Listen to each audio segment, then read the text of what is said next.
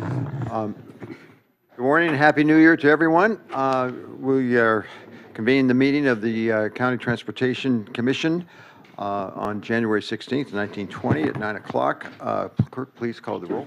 Or 2020, yes, yes. Commissioner Loe? Here. Commissioner Bertrand? Here. Commissioner Brown? Here. Commissioner Johnson? Here. Commissioner Coffman Gomez? Present. Commissioner Caput? Here. Commissioner Kun- uh, Schiffrin? Here. Commissioner Alternate Mulhern? Commissioner Leopold? Here. Commissioner McPherson? Here. Commissioner Alternate Lynn? Commissioner Gonzalez? Here. And Commissioner Rotkin? Here. Very good. Um, Welcome to everyone. Um, We will uh, now open uh, for the number two item on the agenda for oral communications. Anyone that would like to address us on issues that are not on the agenda for three, talk to us for three minutes about their concerns, welcome. How do I do the, oh, I press it? Oh, is yours going to? All right, you're going to make me work. Ah. I'm up. You now have two, hour- two minutes and 30 seconds. I knew you were going to do that to me. New chair, new rules. Actually, Bruce, you're not that mean to me. When your voice is loud enough, you don't need that thing. Oh, come on. All right, hi, Brian Peoples, Executive Director of Trail Now. Um, The photo that's showing up there is uh, Zach Friend uh, opening up the Valencia Road. It was closed for months a few years ago, and the main point we're trying to emphasize here is that was a key transportation connector. What a transportation connector is, is it's that vital road that connects neighborhoods or pathways that is basically the shortest distance to those neighborhoods. And they're key. Um, Valencia Road is a great example of it. And when one of those key transportation corridors are shut down, it changes the whole dynamics of traffic in the region. Um, everybody had to go down Soquel, Highway 1. My wife, who's a kindergarten teacher there, had to go all the way around. So it really impacts the regional transportation issue. And that's a, a great example of a key transportation corridor. The Santa Cruz Coastal Trail is the same thing. It's a key transportation corridor. Unfortunately, most people don't realize it because they're not using it. But when they do, they'll realize the value because the study showed 15,000 people a day would be using that corridor compared to, of course, the train, which was less than 2,000 a day. So, most important thing about where we're at with the Santa Cruz Coastal Trail is it's closed and it's basically are closed for exclusive government usage in the future. And that's where we're, we're frustrated a little bit in the sense that this key transportation corridor is, needs to be open as soon as possible. And we believe that it will change our dynamics. Now, unfortunately, Zach's not here, um, and we want to point out that Zach actually, and he'll probably get mad for me for saying this, but he quit this organization, essentially quit it because of his, his philosophies of financial. Zach's a great supervisor. Uh, he, he's very disciplined in financials. He's very good at public policy um, because he understands what will work and what does not. Granted, he lives 500 feet from the railroad, and so if we think about it, if we think about the efforts that this organization is doing in the way of the investments and planning, you have one of the most well known supervisors who doesn't support a train, 60 trains a day. And the reason he really doesn't accept it is because it will shut down Aptos Village. Every 15 minutes, if we have a train going through there, there's no train station in the village. So we're asking for us to begin using this key transportation corridor and think about why Zach, friend, is not on the board and he's quit. Thank you. Thank you. Good morning, Commissioners. I represent, I'm Grace Voss, and I represent the Santa Cruz County Cycling Club. And I'm speaking uh, this morning on the need to retain the bicycle lane in Aptos Village on the north side of the road. And it's there for the safety of bicyclists that are traveling westbound. Every other Tuesday, the Santa Cruz County Cycling Club has an organized ride that leaves from Rancho Del Mar Shopping Center, and usually we head out through the village and into the South County to ride the rural roads, which are beautiful. And then we come back and we use that side of Aptos Village, the north side, and that bike lane. So we want to retain that bike lane, not surrender it for a sidewalk, which is what the county has proposed. And it's there now, we need it. Uh, It's true, we do have to merge with traffic right before the bridge, but before the bridge, it gives us an extra element of safety. And what our county needs is more bicycle lanes, not, not eliminating bike lanes. Thank you.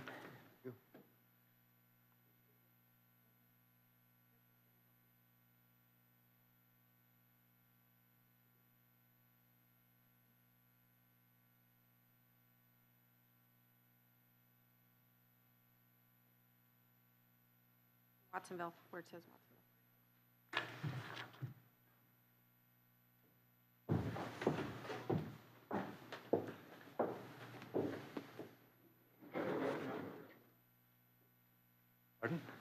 No, she's our staff. She just put your, I would like you guys to uh, look at the screens. This is like reading fast forward because I don't have very much time. Here's my question. Is a $11 million, 1.2 uh, mile segment 18 rail, rail trail wise? Next. like Oh. Oh, I get the clip, okay. So we need to know that the MBSST was rerouted on, uh, because they couldn't get across the Watsonville Slough or the Harkin Slough or even run along the slough, Galligan Slough. Um, It was rerouted onto San Andreas, onto West Beach. Those are at 45 miles per hour, so it's a bike-only route. So it comes along San Andreas and heads up West Beach into Watsonville.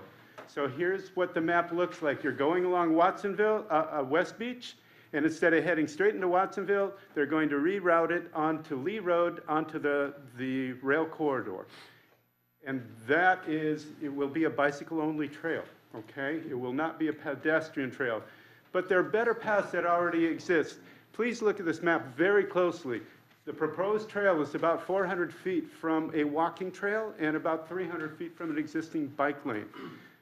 The Bike lane is on West Beach, I take it quite a bit. I've taken the sloop paths, they're very pleasant. They are, um, yeah, I'll just leave it at that. This is what the Watson View uh, Trail really looks like. On the right, our neighbor uh, is the back of neigh- uh, houses. So it it integrates neighborhoods. Why spend $10.8 million on an unneeded bike path when you have both a trail on one side and a bike path on the other? And let me explain to you, here are your costs based on the estimate of the one, the, uh, the Ohlone Parkway to the Watsonville Slough. The easiest part, the one uh, point, 1,500 feet, this is where this $10.8 million comes from. I use your numbers, not mine. This is what the view is going to look like if you build the rail trail. Okay, you will have a trail, but you're going to be looking at the backside of industrial stuff instead of the beautiful Watsonville Slough.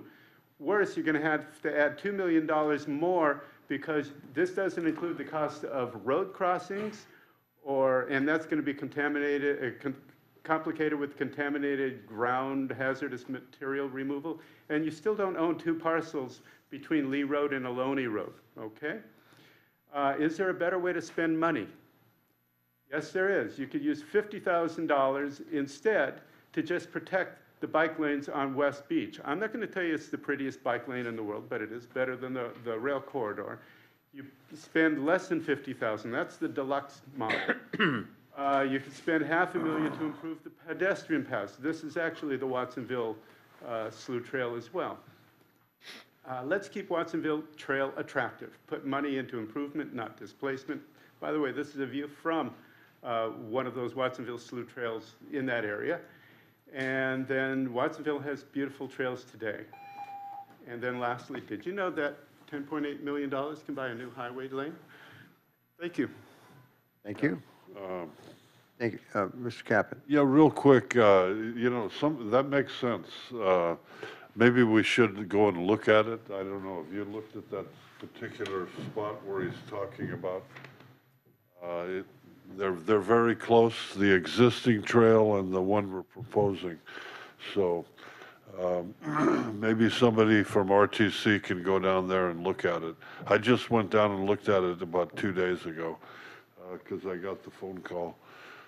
So, Well, I mean, it- Can it's we the have pleasure of somebody the look commission. Would into they like to have us, uh, the, the staff review this? It should be, be fine. They they don't think it would take that much time to Do and- Okay. And then come back next month and then let us know or give us an opinion of what your thoughts are on it. Cost, I would like to be part of that. Um, I've listened to this and I've thought about it also. excuse me, okay? Um, Gomez? The city of Watsonville's already done the investment and the work on that and the segments and why some of the costs came up as a result of that. So city of Watsonville has already approved this project and has started um, the work on this, this part of the segment. you're, you're talking about the 10 point, uh, the $10 million? We're talking about the segment that's between Walker and Lee. Yeah, okay, yeah, but uh, I mean, we, if we could look at it, it's, uh, they're, they're not even a block away from each other, what he's talking about and uh, what we're proposing. Might save some money is what I'm getting at. Um, Maybe, uh, yes, yes, sir. I just want to chime in on that a little bit. I- I- You know, it's, sometimes we visualize things, uh, and it, for simplicity and, uh, for economic reasons, but if it happens that a a pedestrian is hit on West Beach Street because we didn't give an, uh, an, an access on a path or a ped- a bicyclist is hit on West Beach Street, because we didn't give an alternate route for them to be on a safe route without no vehicles being close to them, I'd rather go that way than have to worry about that somebody got killed on West Beach Street, uh, because there, there was more traffic there and there wasn't the, Yeah. Is there a bike trail right now on West Beach? there's a bike path, there's just a bike path. path, yeah. Could I uh, Chevrons could probably raise a on there. point of order? Yes, sir. Uh, Yeah, yeah, This is oral gonna- communications, Yeah. it's not on the agenda Yeah. for discussion. I'm just gonna the direct- Watsonville project, if, if the commission wants to have it on the next agenda, I think that would be the appropriate time to talk about it, but uh, this isn't. I, I I get it. I just. uh, Okay, I just want somebody to look at it. Okay, as I uh, asked our staff to do. Okay? Good, Report back to us next week, or next month. Um, Mr. Helmer? Hi, Jim Helmer, 10885 Alba Road, Ben Lomond. Um, I'm here to um, ask that we pay closer attention to Assembly Bill 2363. This is the Zero Fatalities Task Force that was established by law uh, through Assemblymember Friedman and signed into law by the governor. The California Transportation, uh, State Transportation Agency has been holding public hearings for almost a year now. Their report to the Assembly is due this month. In their October meeting in Sacramento, there was very strong preference or a strong indication that changes in the law that could be made that would allow state engineers to use prima facie 25 mile per hour speed limits on state highways in business districts, whereas they cannot now, but local engineers can. So I'm asking that RTC monitor the bill and provide you with a formal update so that we can take a position as a commission to support more friendly ways to establish speed limits on local streets and state highways. Thanks. Thank you. Uh, Anybody else would like to address us in oral communications? Um, Okay, we'll go to, is there, uh, number, item number three, any additions or deletions uh, to the consent uh, or regular agendas? So there is a handout for items 14, 16, and 18. Very good. Should be on everybody's desk, okay. Uh, We'll move to the um, consent agenda. Um, Items number four through nine, is there, are there any, um, any questions about the consent agenda? Anybody want to move the consent I agenda? move the consent agenda. Moved and seconded, moved by. Well, we need to hear whether there's Okay, anybody in the um, public. The, anybody from the public would like to address us on issues on the consent agenda? Okay, it was moved by Schiffrin, seconded by Leopold. All those in favor? Aye. Opposed? So ordered unanimously. Okay, we will go to the, uh, item number seven, the, uh, or excuse me, um, The budget and expend, there's no consent items there. Um, The, on the regular agenda, the commissioner reports. Any commissioners have any oral reports that they would like to give? Uh, Mr. Rotkin? I just want uh, people to know that the Democratic Women's Club of Santa Cruz County is holding a forum on the rail corridor on February 8th. That'll be after our next meeting on the 6th, but I thought I'd give people advance notice about it.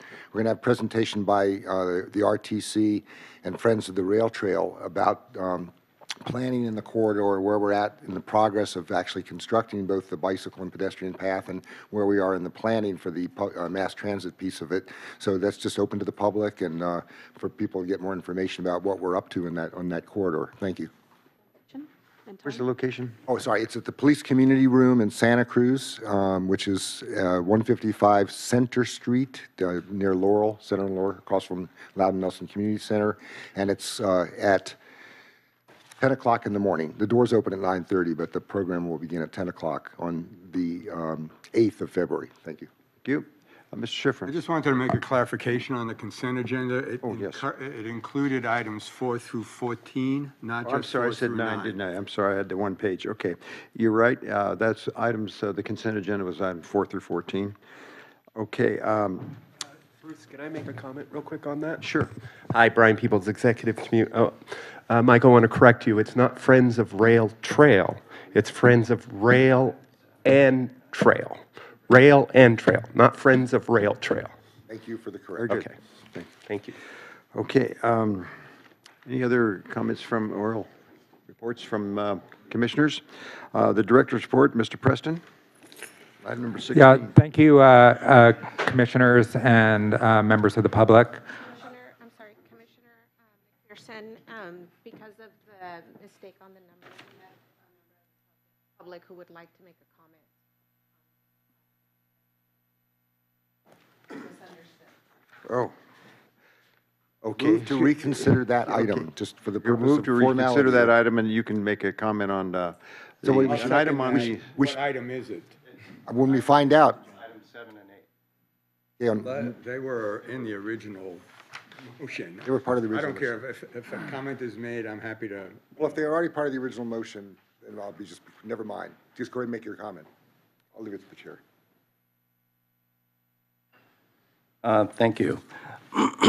On item seven, I appreciate the efforts of RTC staff to do these project initiation documents on Highway 9.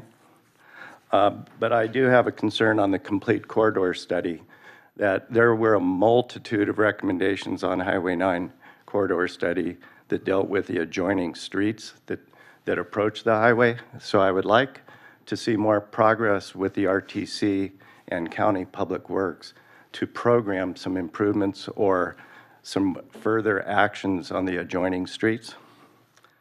Um, Secondly, We've waited far too long for basic operational and maintenance improvements on Highway 9.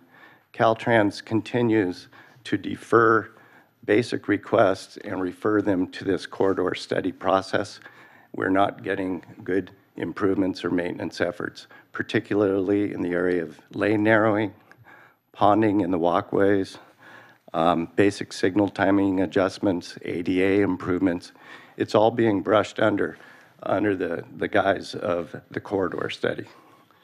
And um, that's all I have on item seven. On item eight, this um, five crosswalk improvements in San Lorenzo Valley on Highway 9. We received this grant in December of 2018. It's now 14 months later, and there's been no action. It was originally uh, going to be designed by RTC. Then I was told the county. Now we're referring it back to Caltrans, who issued the grant in the first place. Um, I think it's really sad that it takes 14 months to do basic uh, solar crosswalk flashers. Um, And secondly, these flashers only cost $6,000 for a pair of them. Their installation can be completed quickly. We have $250,000 that is now being referred to the SHOPP program. And um, I think we can do far more than five crosswalks with a quarter million. So I want to make sure that we watch that budget closely and not just spend to the limit on five locations, but get as many locations uh, improved on Highway 9 as we can. Thank you. Okay, I didn't, uh, anybody else, uh, I don't think we missed anybody else on uh, oral communications or consent agenda? numbers. Consent agenda? Yeah, we got the numbers right. Uh, I appreciate that. Okay, we'll move on now to uh, the director's report, item number 16. Thank you, uh, Chair McPherson, Commissioners, and members of the public, and Happy New Year to you all. Um, Looking forward to a great 2020. Uh, One of the things I've been working on is trying to uh, solidify my staffing. Um, I had several vacancies at the RTC. I'm pleased to announce today that um, Amanda Marino to fill the remaining vacant transportation planner position. Amanda graduated with a bachelor's of science double major in planning, public policy, and management and environmental studies with a minor in earth science from the University of Oregon. Since her graduation, she has been working as a transportation coordinator at the Lane County Transit District in Eugene, Oregon, where she worked on congestion mitigation program to target neighborhoods to address barriers to choosing transportation options. Amanda has experience working with GIS and conducting environmental studies. We expect that Amanda will work well with various RTC committees, as well as RTC's de- Traffic Demand Management Program. Amanda is expected to start work on Monday, February 2nd. I'm also pleased to announce that RTC has appointed Jason Thompson into a permanent transportation planning technician position. Jason started working at RTC in June 2019 as a provisional transportation planning technician. Ja- Jason graduated in 2016 from Cal Poly with a Bachelor's of Science degree in forestry and natural resource management. His experience working with utility companies and vegetation control has been very useful on the Santa Cruz Branch Rail Line. Jason has also gained experience working on the Regional Conservation Investment Study um, and traffic demand management. Jason will continue working on maintenance on the railway as well as assisting transportation planners in various assignments. Finally, I am pleased to announce that the RTC has appointed Fernanda Pini into a permanent transportation planning technician position. Fernanda commenced working at RTC in November 2017 as an administrative assistant three. Fernanda has a Bachelor's of Arts in Philosophy from the University of Maryland. While working at RTC, Fernanda has attended classes at San Jose State University as a candidate for a Master in Public Administration. In July 2019, I appointed Fernanda to a provisional transportation planning technician position and immediately assigned her to assist me with the preparation of the inaugural Measure D implementation plan, the draft of which was released last month, and that item is on today's agenda. Fernanda is expected to assist transportation planners in various functions with a focus on programming, contract management, and legislative issues. With Fernanda's appointment, to the Transportation Planning Technician position, RTC has an opening for an administrative assistant for which we are currently recruiting. I have um, a couple announcements on MBSST projects. Segment 7, Phase 1 of the Coastal Rail Trail will be breaking, breaking ground soon. To celebrate this milestone, Ecology Action and Friends of the Rail and Trail will be hosting a groundbreaking celebration on January 25th from 1 to 3 at Santa Cruz Mountain Brewery. All members of the community are invited. And I said it correctly, although it's written incorrectly, uh, the, the, the name of Friends of Rail and Trail. The city of Watsonville opened construction bids on a portion of segment 18 between Ohlone Parkway and Watsonville Slough Trail on December 17, 2019. Staff is expected to make a recommendation on awarding a construction contract to the apparent low bidder at their next city council meeting on January 21st, 2020. And my understanding is that the bids did come in under the engineer's estimate, and there is sufficient funds to award this contract. I have uh, a couple, uh, uh, sh- a short update on Highway 1 projects. RTC staff continues to work on the delivery of the Highway 1 bus on-shoulder auxiliary lane projects. These projects are consistent with the direction of the state towards multimodal highway projects as they include bicycle overcrossings and will promote transit use with bus on-shoulders components. The projects have been very popular with the California Transportation Commission staff and are expected to compete well for the next cycle of Senate Bill 1, Solutions to Congested Corridor uh, program funding. Uh, Last week, or actually this week, on Monday, I was at the CalCog meeting in Sacramento, and this project was brought up as an example of how um, a highway project can self-mitigate for um, the transportation impacts that they do have because of the transit elements. And that's what makes this project so popular with the California Transportation Commission because we are facing a climate emergency, and it is very important that we um, implement our projects in a way that consider mitigation for the traffic impacts with um, such elements as, as active transportation and um, transit with the bus on shoulders components.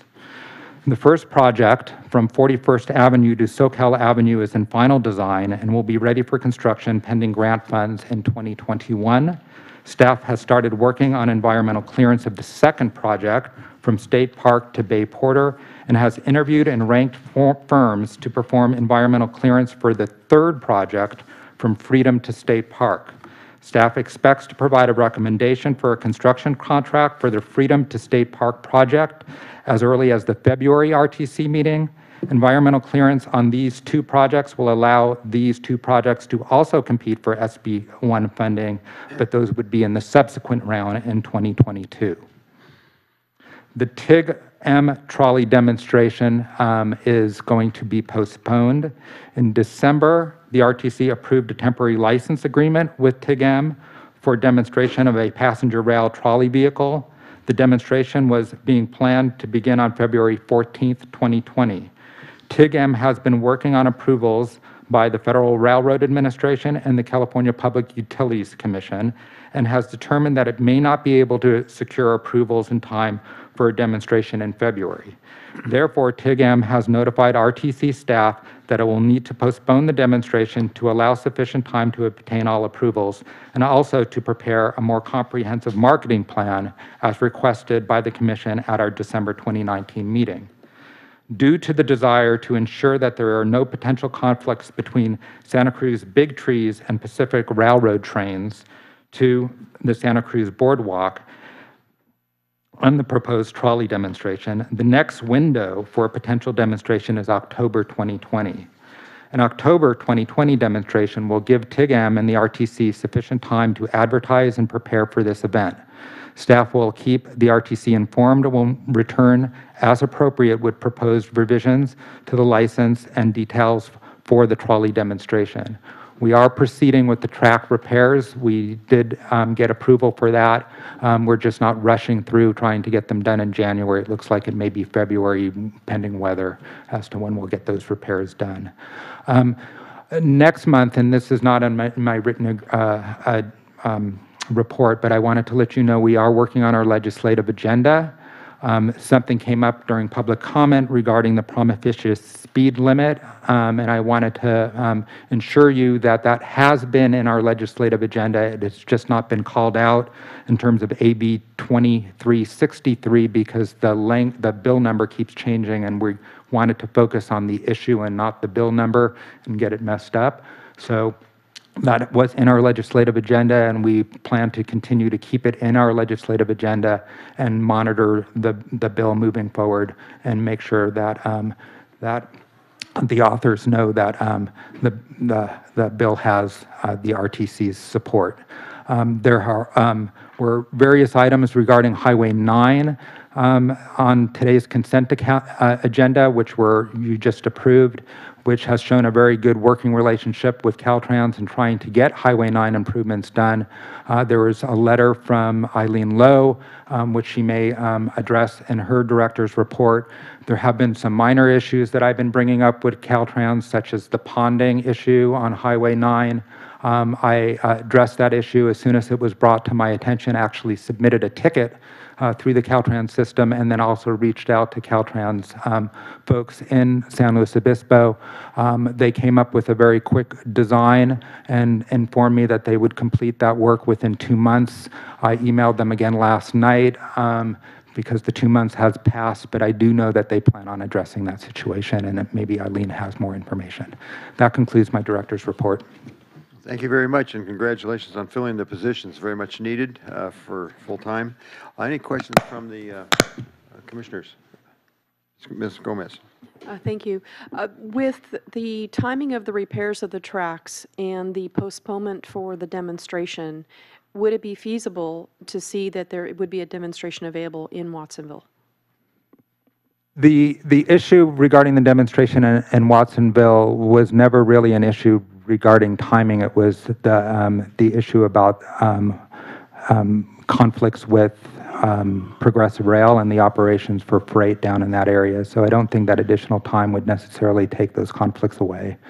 And, and can we do something to work with them to allow a demonstration if that's a, I mean, because, for example, if they're going to be doing anything else besides just the freight, they're going to still have to figure out how to remedy different things that are on the tracks. Um, Is this something that we can work up so that we can actually have the availability of having this demonstration in Watsonville as well? I understand your interest in it, and I can certainly bring it up again with both uh, TIG-M and Progressive Rail to see if there's any opportunities to um, provide a, a greater scope for the demonstration. And then I just have one last question that has to do with this new bill that's being um, put together. Can you send us or make sure that we have, and we can update um, also our council that have this interest on the, the speed, the language of that particular bill and how it could impact or benefit the communities that would like to see something available to them for changes for their, their speed limits? Absolutely. Thank you. Any other questions from board members? This is a non-action item. Any, any comments from the public? Okay, we will move to um, item number 17, the Caltrans rep- report. Ms. Loe? Thank you. Thank you, Mr. Chair. Happy New Year, everyone. I'd like to first let you know that the, Cal- that Caltrans is still accepting comments on the California Freight Mobility Plan until the end of this month. Uh, This is an important document for the state, uh, as freight is a, is a cornerstone to our economy. Uh, It's also important that we're protecting multimodal mobility, uh, protecting environmental stewardship, uh, protecting and, and enhancing healthy communities, protecting safety and resiliency for all Californians, and being uh, mindful and responsible stewards of our assets. Uh, This, as I said, this plan is available for review until the end of the month, and the policies set forward are expected to help guide uh, future decisions on investments that will support freight uh, in accordance with those goals. Last week, Governor Newsom signed uh, Executive Order N-23-20 to fight homelessness throughout the state. He's, he's directed various state agencies to take on additional roles, and that includes Caltrans. We will be, we will be working, or we are, the state is working on a, on an action plan uh, for this, and Caltrans' role is kind of two-part. It's in, uh, one is helping assist in the uh, leasing of property that's adjacent to highway facilities. So in some cases, this may include state right-of-way, other times it may be adjacent to state right-of-way, but we have expertise in terms of lease agreements and things like that. Uh, And then it will also involve uh, how we work with our local partners on the transitioning uh, for folks that, um, into safer uh, shelter. So you will, uh, your member agencies should expect to, to hear directly from Caltrans uh, in the, in coming weeks in terms of how we can uh, better work in partnership to address, address this crisis. You have a project update in your, uh, the standard update that you have in your agenda packet there. And I would just like to uh, note that on project number 19, which is one of the, um, which is our pedestrian enhancement project, uh, that there, I know there's great interest in, uh, mentions that we would go to construction in February, but it looks like that's going to be uh, April. Uh, And that is in due to the um, additional locations that we've added. We're bringing in that Highway Safety Improvement Program funding that the RTC uh, provided to us. We're adding those five locations for Highway 9. It is impacting the schedule, but we expect uh, construction to get underway in April. Uh, And April should be, uh, so I'll just transition now into the Highway 9 update. Um, Maybe I'll pause for a moment and ask you if there's any questions on the first, first bits. Sorry, the April date is in reference to the five pedestrian crossings that the member of the public talked about? The, um, if you, if you have the um, project update there, the little table, uh, Project 19 is a crosswalk and pedestrian safety enhancement um, project. It has, uh, it's dealing with four highways in Santa Cruz, but there are locations in Monterey County on Highway 68 and 183. It's an extensive, um, it's an extensive project. I don't have the total number of locations for the whole contract. It's under a million dollars. We are um, bringing in the, um, the Highway Safety Improvement Program funding to include the other five locations. So it's, um, it's an extensive, a number of locations, yes. Yes. How, uh, question on the 152, since it's been on the books for such a long time, and now we've added Highway 9, is Highway 9 projects going to be prioritized over 152? I mean, I hope not. I mean, I know it's important Highway 9 and their crossing, but we, this is an important crossing for us, and, and we've been pushing for this for now going on two years.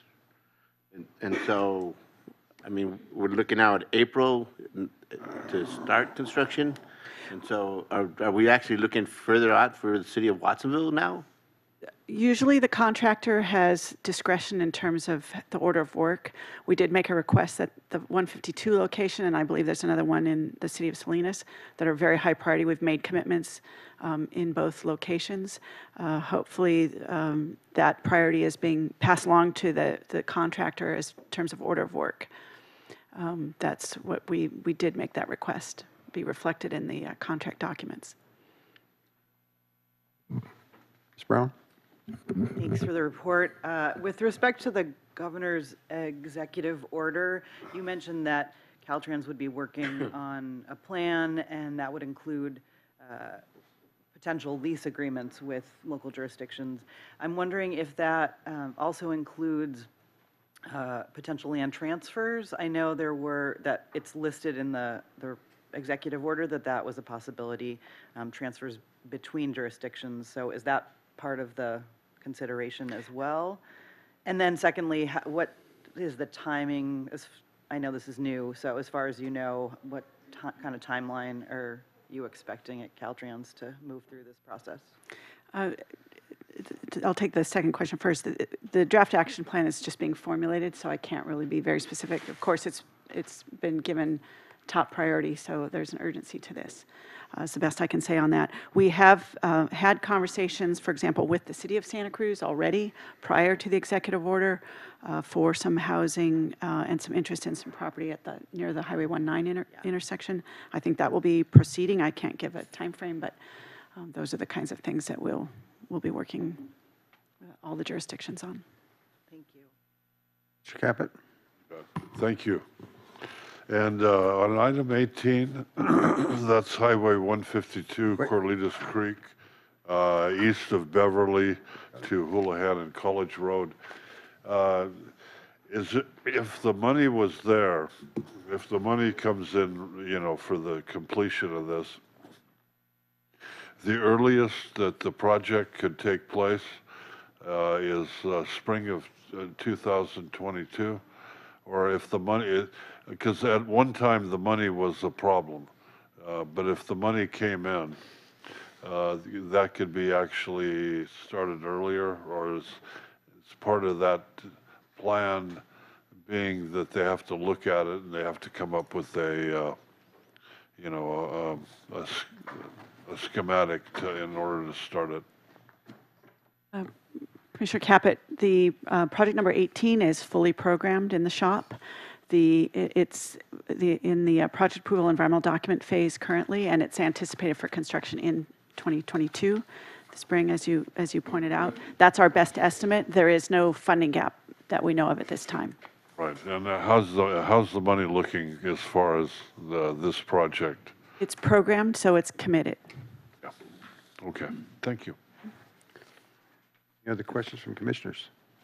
Okay, then I'll go on to the Highway 9 ahead, yeah, portion. ahead. Okay, all right. Uh, I- I'll, uh, I'll address first the maintenance issue that has come, has come up in a couple of uh, conversations already, the ponding there um, near It's Graham. on Highway 9 you're talking Gra- about. Highway 9 and Graham Hill Road, there was a concern about some ponding. And uh, uh, there's some drainage work that's also been incorporated into another contract that has multiple locations. The first location was, was on Highway 17, uh, and we've made a request that this, um, this particular ponding location be addressed next. And so it's scheduled to occur, to be, go into construction next week.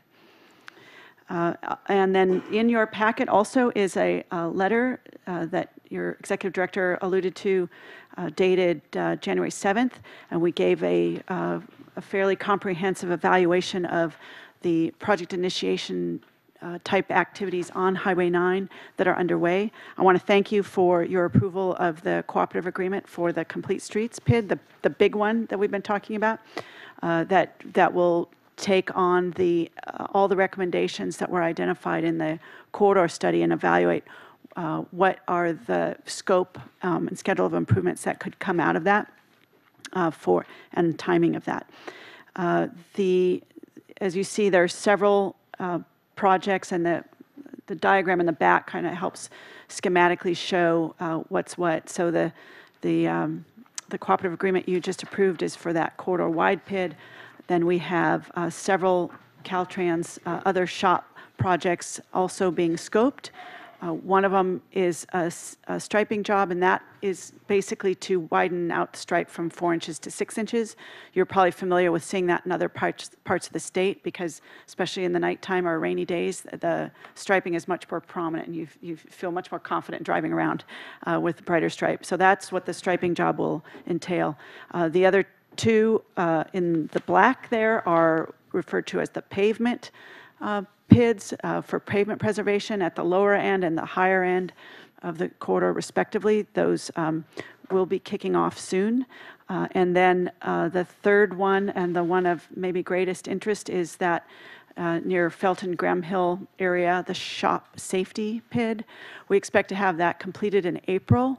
We're looking at the, what type of improvements we can make uh, for uh, pe- pedestrian safety specifically for walking and bicycling.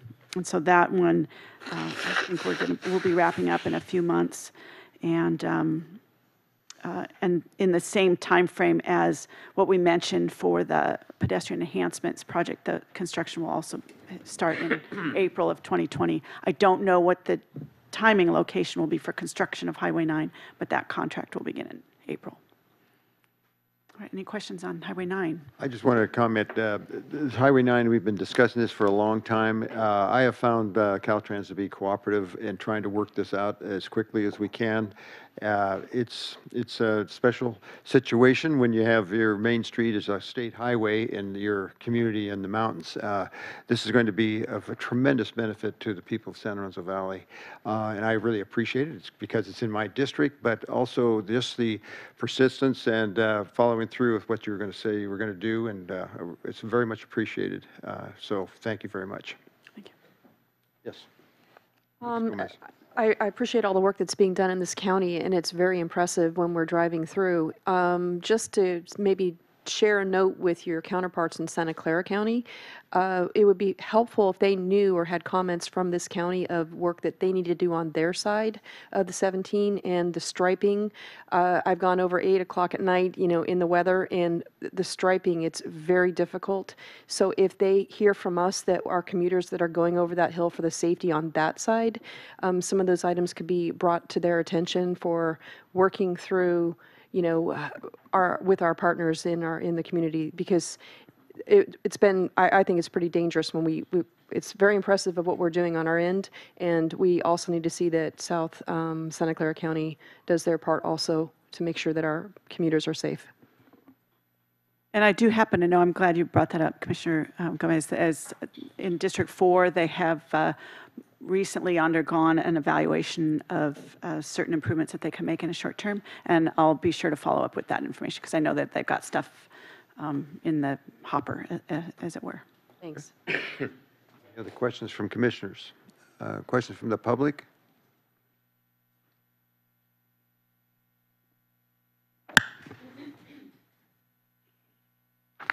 Morning, Commissioners, Chair. Um, Just wanted to go back a few months um, and ask Caltrans if there's any update on the Grant 51 5310 program, which is basically uh, exchanging diesel um, paratransit vehicles for electric. And um, just trying to get a- an idea of what the difference in price would be here.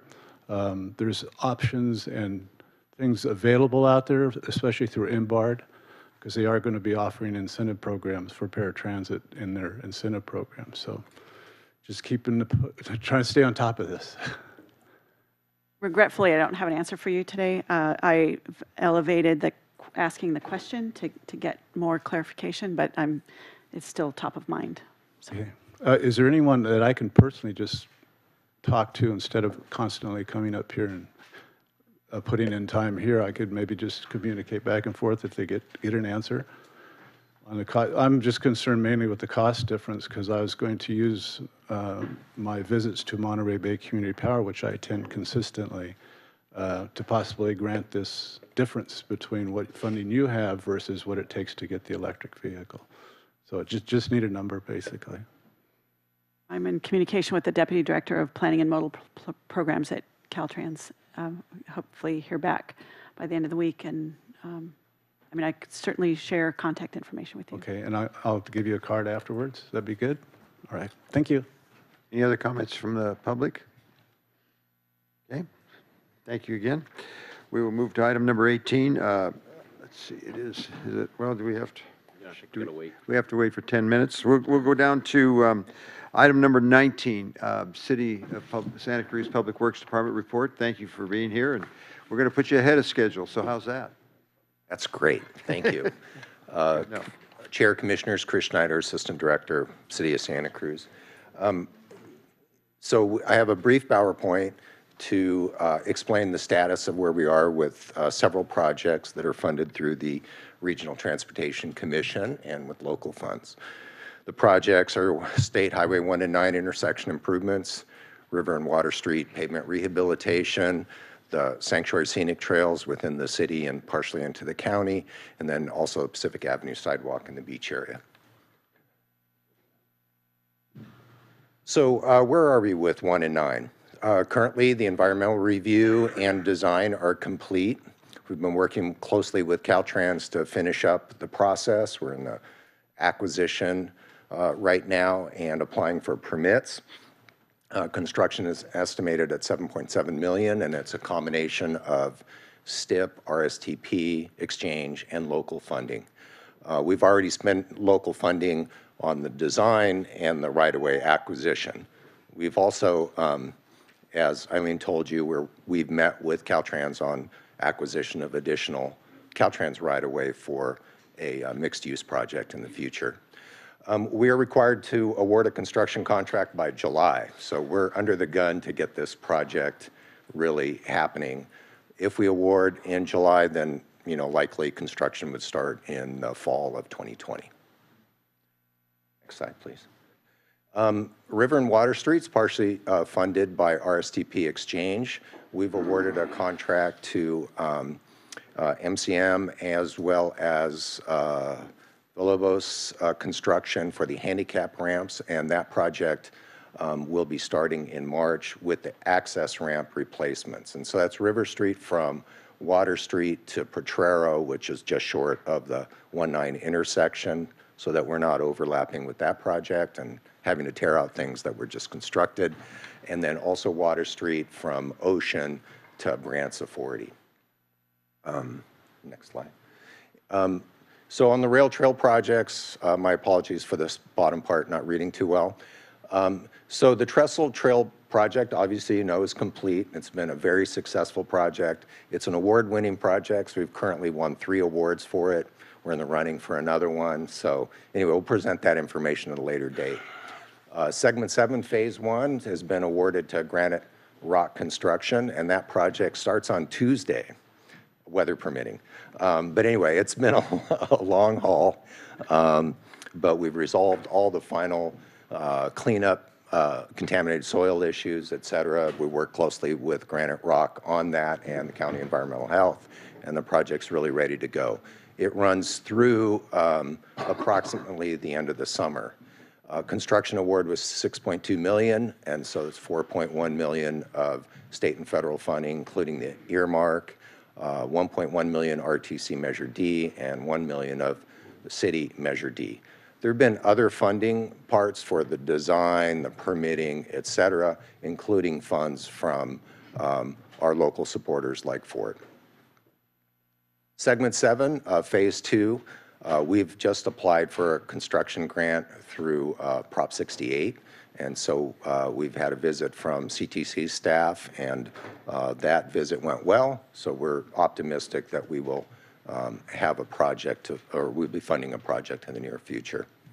Segments eight and nine, which is from Beach Street and the beach area out to 17th. This is a joint project with the County of Santa Cruz, and uh, we have funding for environmental review and design, and that project, or hiring the consultants to start that work, will be happening this spring.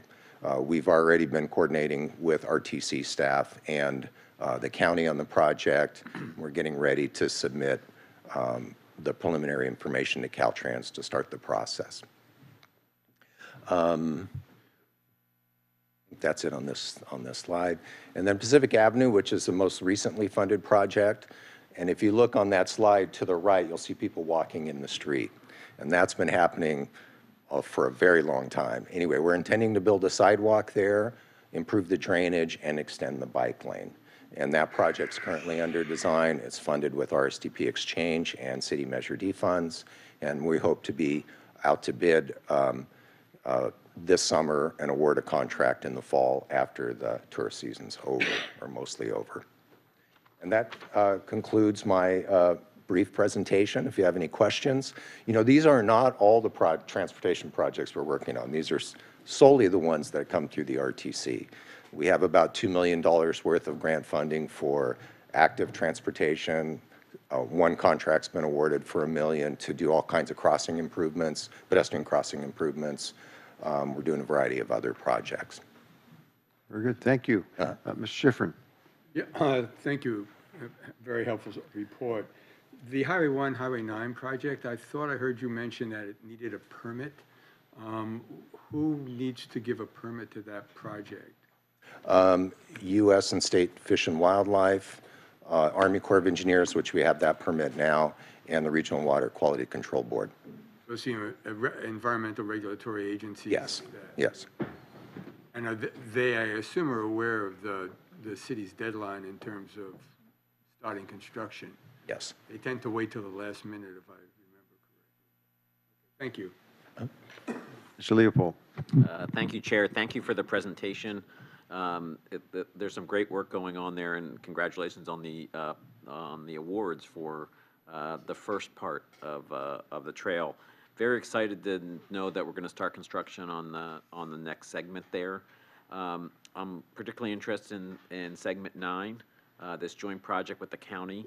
Uh, You talked about hiring a consultant uh, in the spring, and when do you think the design work, how long do you think that will, that, that will take? Um, I, I think it will take at least a year, um, complicated project. Um, You know, there's water crossings that are involved, et cetera, so about a year, po- possibly longer.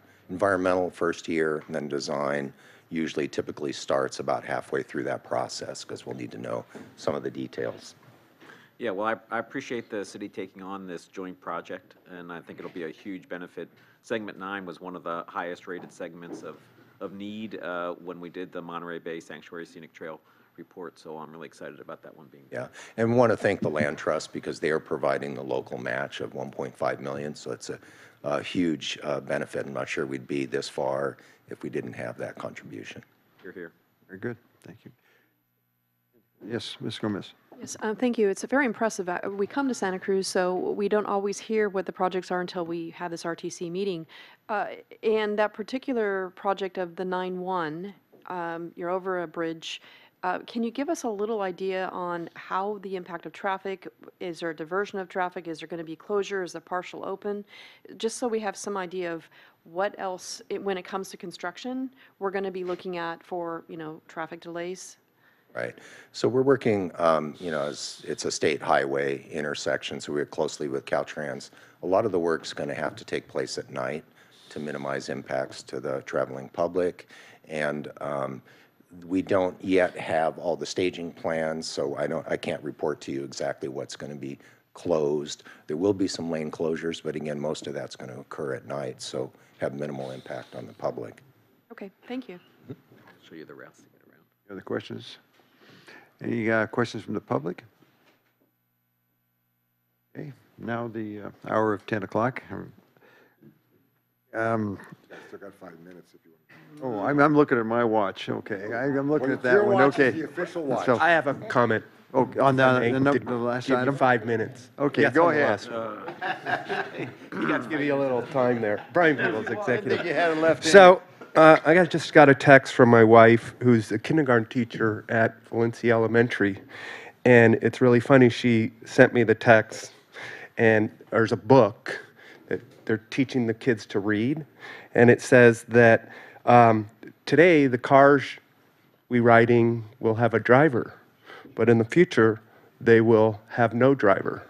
So I found that really interesting that in kindergarten, I guess they're kind of giving them a heads up that they're probably never going to get their driver's license. Okay. So anyways, Right, maybe thank kill you you. some time. Segment. Um, You know, I, I think we'll just wait for three minutes to be. Just take a three-minute break. Okay, I'll reconvene the uh, meeting of the Regional Transportation Committee, uh, Commission.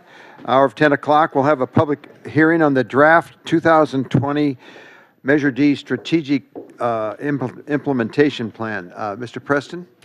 Uh, Thank you, uh, Chair McPherson, and um, thanks to the commission for um, moving the Measure D um, ordinance to the ballot um, in 2016. Um, Thank you also to uh, the public for approving Measure D with two-thirds of the vote. Um, um, As part of the uh, Measure D ordinance, um, the RTC was made um, the Measure D authority, and um, as part of the ordinance, the RTC is required to allocate, administer, and oversee the expenditure of all measure revenue which are not directly allocated by formula annually to other jurisdictions through an implementation plan which it will update at least every five years following a public hearing. Uh, Today's item is um, to have that public hearing and um, to um, also receive public comment and uh, uh, see how we want to move forward with the plan. Approximately 53% of the expenditure plan is not directly allocated by formula to other entities, um, which include the following regional projects and programs. It's the entire highway corridor, the uh, San Lorenzo Valley Highway 9 corridor, which is part of the um, neighborhood uh, investment category, the Highway 17 Wildlife Crossing, which is also a part of the neighborhood uh, investment category, um, the entire active transportation or coastal rail trail investment category, and um, the rail corridor. As stated in the ordinance, the purposes of the implementation plan are to define the scope, cost, and delivery schedule of each regional project or program, detail revenue projections and possible financing tools needed to deliver the expenditure plan within 30 years promised to the voters, and describe the risks, critical issues, and opportunities that the authority should address to expeditiously deliver the expenditure plan each year, the um, um, regional projects come forward with an annual report, which um, consists also of a five-year plan of projects. Um, That has been done three times already.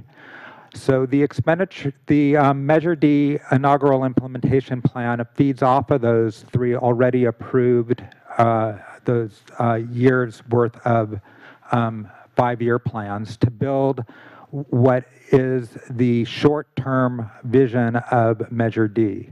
It also um, looks at a longer-term 30-year forecast.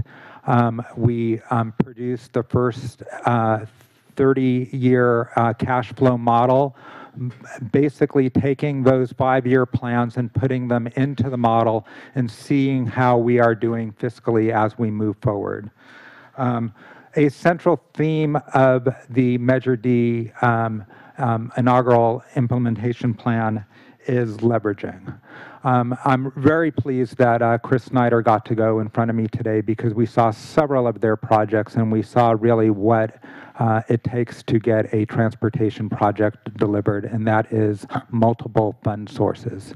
The uh, Measure D ordinance itself was very much um, um, uh, um, put together with the concept of leveraging, that we should look for uh, other fund sources and try to use Measure D in a strate- strategic way to leverage additional funds and maximize the amount of improvements that can be delivered to the community. Um, the cash flow model is shown in the uh, Measure D expenditure plan in Chapter 5. You'll see that all of the ending balances are positive. Um, we looked at each program individually, and we also looked collectively as to what it would take to make sure that each program can live um, within its own means.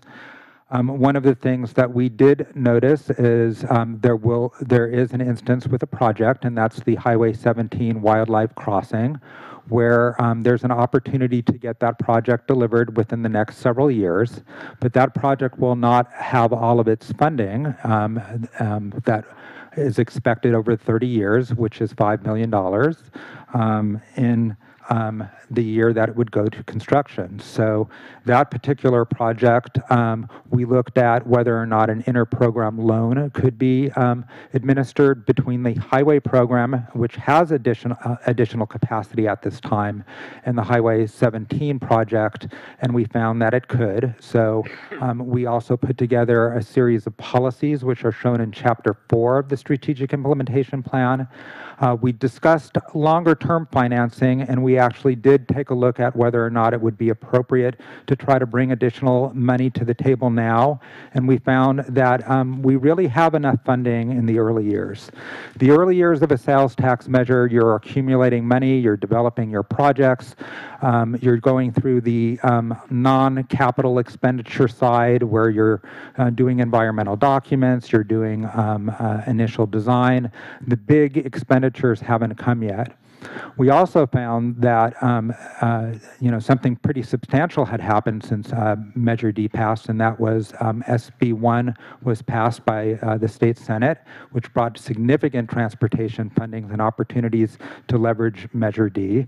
So um, we we considered that and we considered um, what the requirements to apply for those grants would be. And in many cases, it is that you have environmental clearance. So um, the more environmental documents that we have, the more projects that we can apply for state funding grants are. So this, um, you know, putting together the policies, we very much put together um, uh, programming methodology based on, you know, what is going to help us leverage the most additional funds, um, using Measure D in a way that we can provide environmental clearance and leverage funds as quickly as possible. Bringing back the, um, the discussion on um, this plan really focusing on the first five years. Um, this plan is not expected to, to um, show every last improvement that's going to be delivered over the 30 years. We're focusing more on the short term because it doesn't make particular sense to try to figure out how you're going to spend your money in year 27. So um, we show the first five years. We also show significant programming capacity beyond what we're showing in this initial plan. If you look at the cash flow model and you look at the last year, you'll see $407 million will be available for future programming of regional investments. Each year, we will come back with a new five-year plan and program one additional year, and we will ultimately come back at least every five years to update the strategic plan. We can amend the strategic plan at any time. It is a planning level document. It does not require CEQA clearance. The draft SIP therefore only includes fact sheets in Chapter 6 for projects and program investments that are included in Measure D five-year regional plans or proposed in the Measure D five-year uh, regional plans. Most of these items have been brought forward to you before and approved for you before for programming purposes. The only exception is the Freedom to State Park Highway 1 Auxiliary Lane Bus on Shoulder project. That was discussed at the last RTC meeting, and this commission directed me to move forward with a request for proposals, which I have done. Um, that is the only amended five-year plan, and that is a, um, a um, replacement page um, of uh, s- several replacement pages that were provided as an attachment to this staff report to show clearly that this would um, be an amendment to that five-year programming plan. All the other ones have already been, uh, all the other actions and programming has already taken place by this commission. There, um, with that, um, this, this plan was released to the public on Friday, December 20th. Uh, uh, I recommend that we move forward with a public hearing on this plan so we can receive public ha- comment. And that I also recommend that this board consider this uh, public comment and provide me with any directions as to whether or not you would like to see any amendments to this plan. We have received several comments from the public. This plan went out to thousands of uh, uh, interested parties through our email efforts. It also was published in the newspapers. We've received comments supporting various projects. Um, we received comments that uh, other projects that you've already approved programming for should not have been funded. Um, we did receive one comment regarding the uh, Freedom to State Park Auxiliary Bus Lane project that um, it's not included in the expenditure plan and that the, this plan should be amended to be able to move forward with, uh, with uh, funding for that plan. Um, for that project. Uh, we are taking that um, very seriously and under consideration, and um, if we decide um, um, that we should take any additional action, we can come back on in February 6th and take that that action.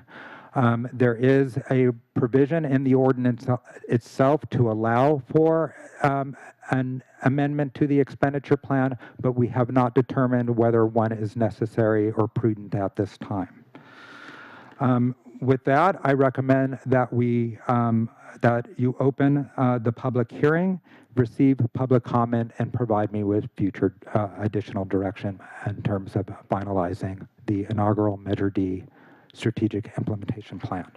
Thank you. Mr. Preston, uh, Mr. Johnson. Are you entertaining questions right now? Yeah. go ahead. Okay, I think uh, thank open it you. to the board and then go to the public. All right. Thank you for that report. Thank- uh, Also, thank you for the, uh, which I thought was a, a very good draft, our uh, 2020 strategic implementation plan you and your staff did. I thought it was very comprehensive and um, enlightening. And so talk a little bit about eschewing pay-as-you-go versus bonding. I mean, what goes into that calcul- calculus in terms of, of uh, why you might want one versus the other? So um, right now, we're moving forward with primarily a pay-as-you-go um, philosophy, the one exception being the interprogram loan, but that's still, you know, pretty much pay-as-you-go because it's internal within the programs itself. Um, Bonding, you know, with, with bonding, you have to pay debt service. Debt service obviously takes away buying capacity for your projects, but it also could potentially allow your projects to move forward quickly. If you um, wait 30 years to acquire enough money to build a project, um, you could put yourself in a situation where the project cost inflates faster than the sales tax um, money um, receives additional growth based on both inflation, um, things cost more, and um, uh, real growth, which would be there's more citizens in, in Santa Cruz, so they're buying more goods. So you have to balance those, you know, two things and, and, and in your consideration as to whether you want to bond. The wild card in all of this is the grants and the grant opportunities. And um, when we apply for SB1 funding, um, they look on at um, not only the, the value of your project, but um, how much local support that project is, is bringing to the table too. So um, if we bring zero dollars in Measure D and ask for a $50 million grant, um, we could get funded, or they could say, well, we really think you should put some money in this project. They could say, we think we, you know, and, and it's real hard to get exact numbers of how much you should put. If you should put um, 5%, 10%, 20%, a half, um, or all of the money. Um, so uh, if you could bond off of the sales tax measure and bring the money forward early, and it allows you to put, let's say, um, 10 million for a 50 million dollar project, and you get a 40 million dollar grant, then you consider that interest that you're paying back as, well, I got $40 million for a $10 million investment. I'm paying 3 million in interest. I saved this much in escalated cost. That interest could be well worth it in terms of uh, leveraging additional grant opportunities. What we looked at right now was I don't see a need to finance for at least another two years. And so I've kind of, and I mentioned this in my staff report, I see us coming with an update to the strategic plan, and that kind of corresponds with the next cycle of grant funding.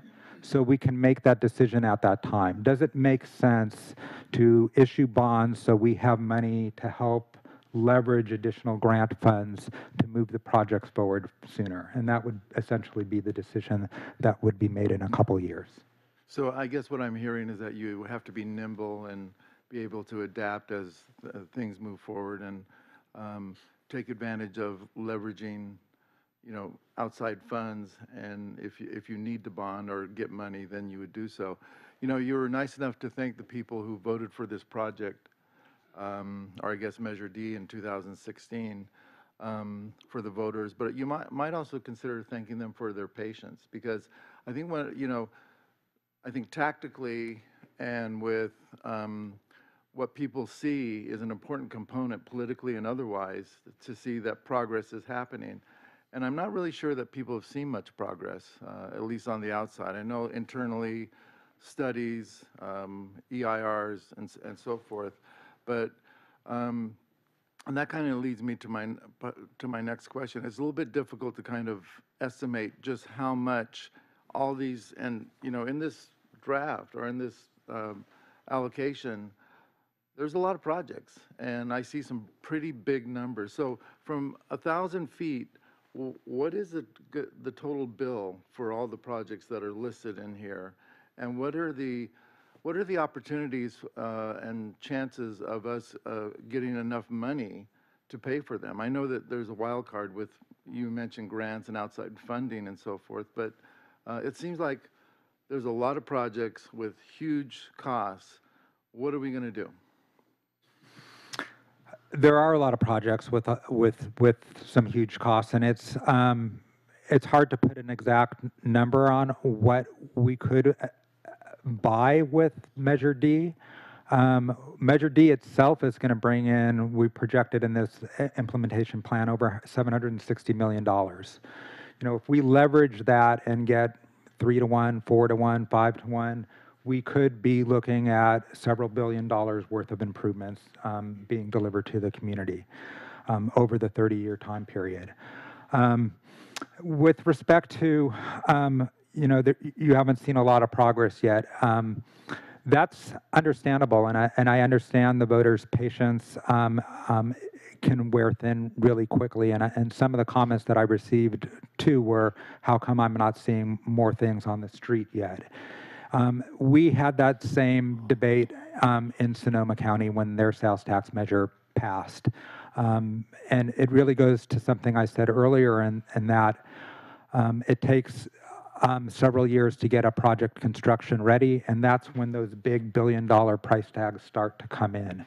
So if you look at the cash flow model that, that was shown in chapter five of the ordinance, and you look at the ending cash balances, you'll see that we're spending a lot of money on planning studies, and then you'll see that money starts to accumulate later.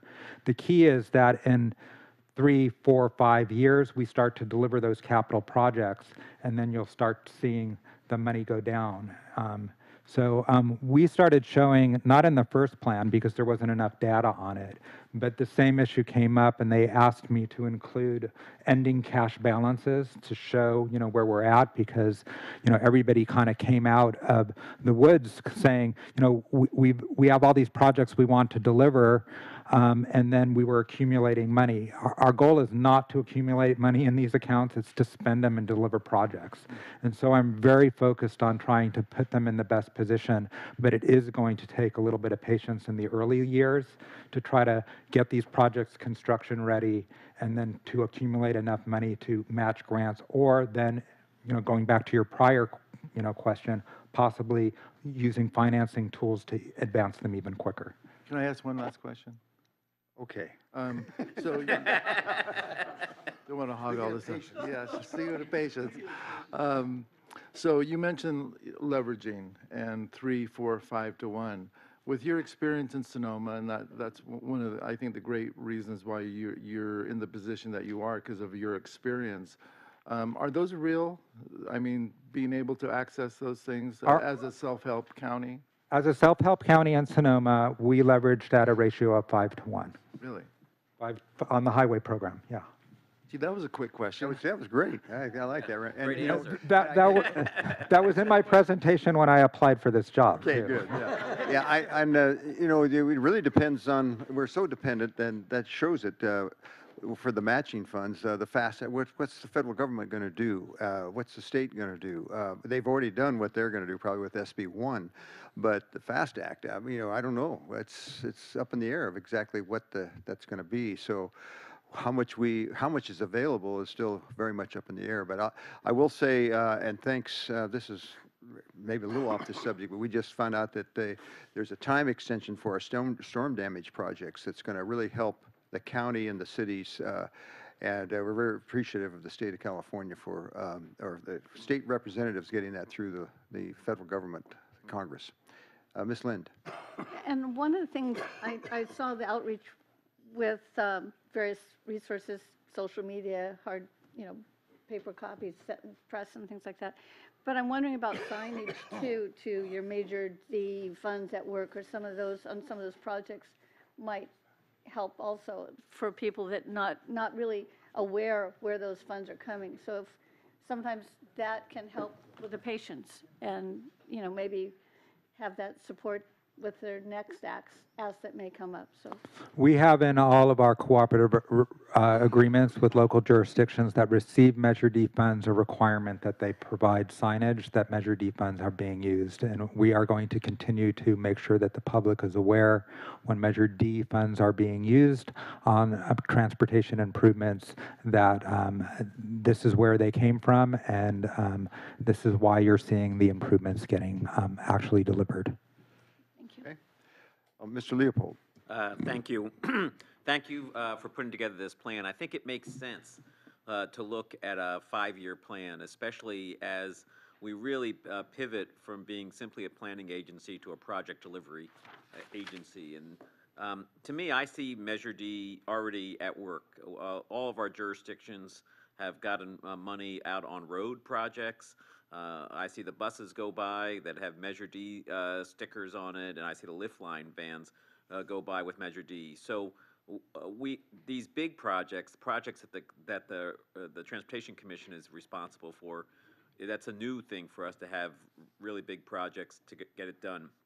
I like the way this um, the the detail of information in here, um, this the strategy of leveraging the funds um, and using your experience in another county uh, to, to, to have some faith that some of this might work.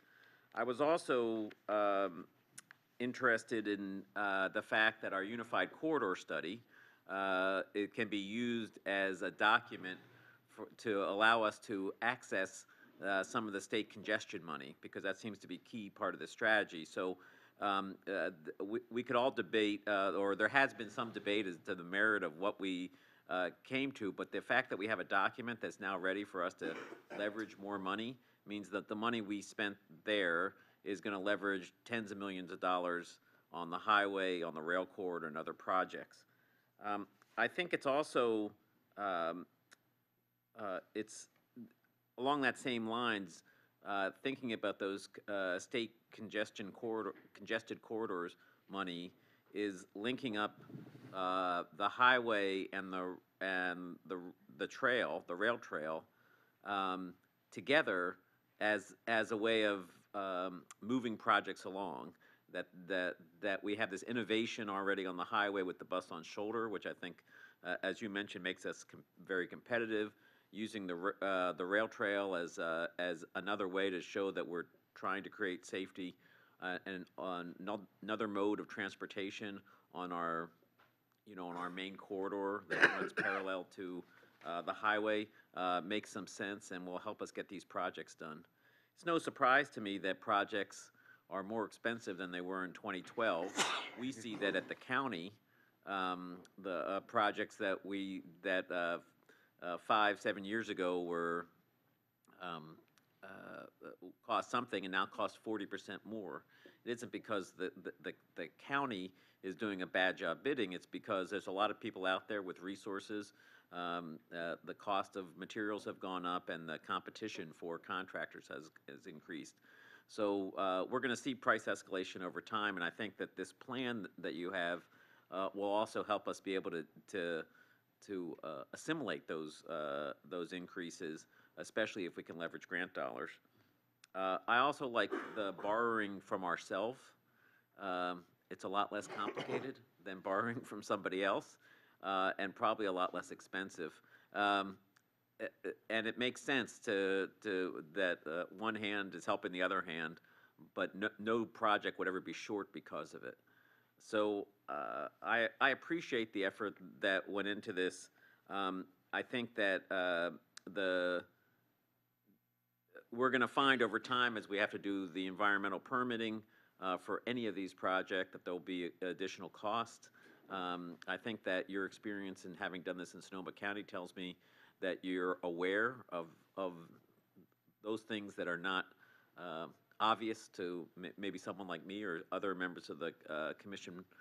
But I think by, uh, by using this strategy, updating it regularly, um, we'll be able to see pretty quickly whether we're on the right path or not. I mean, we have, there's a, there's a, there will be a cycle coming up uh, within the next uh, year to 18 months that we'll be able to see whether this strategy is, is, is something that's going to yield the kind of results. So I look forward to that, and I look forward to continued updates of the strategic plan. Mr. Bertrand. Um, Oh, okay, it's working. Um, I appreciate your strategic, uh, strategic approach to financing, I really do. And to echo um, John's comment, uh, the fact that this is going to be a living document and that you're going to be updating and responding to conditions as they occur um, in time in the future, I think is excellent.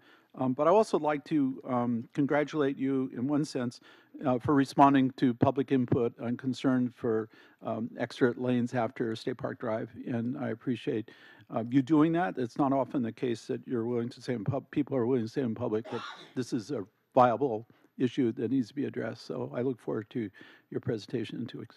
Thanks. Questions here? Any questions? Just make a quick comment. Ms. Gomez. I, I think also we're, we're ahead of the curve with the strategic plan because I don't think all agencies are, are forward-thinking that far on how to leverage and how to have something that's an elevator pitch when it comes to showing where, what we're ready to do to ask for the funds and, and doing the leverage. And I think that that's a very, very good, solid approach, especially when we're dealing with federal and getting, getting the connections made and saying, we've got a plan and here, here it is and, and again, in, in a few minutes' time, o- overall, I mean, it's a comprehensive plan, but to have it summarized to this level, that it's um, easy to take to legislators and easy to take to the funding sources and easy to show that it's, or it's, it's simplifies, I wouldn't say it's easy, but it's more of a simplification approach of saying, we're ready to go, um, let us know when you can cut the check on these projects. Um, I, I think that that shows that there's a lot more motivation and we're ready, ready on that when we, we place those asks for that leverage.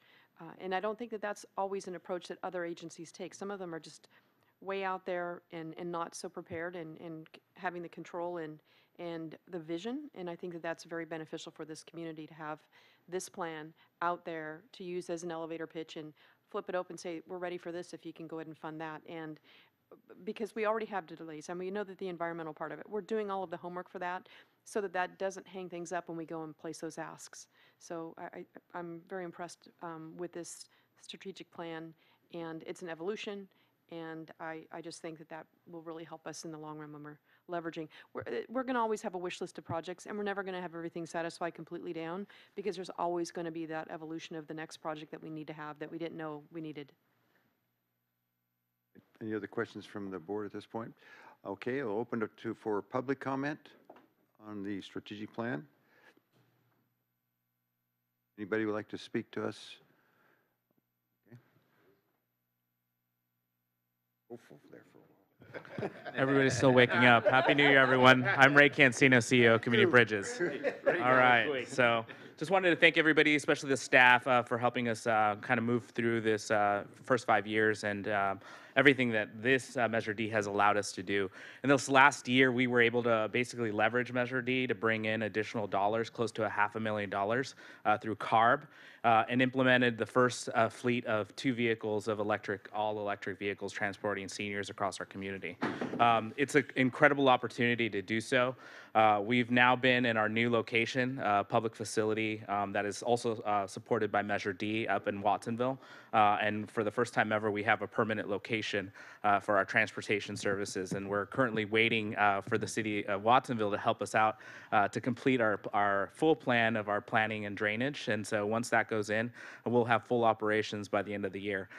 These dollars have been tremendous in the ability to basically uh, sustain uh, and also grow our um, transportation service here in our community.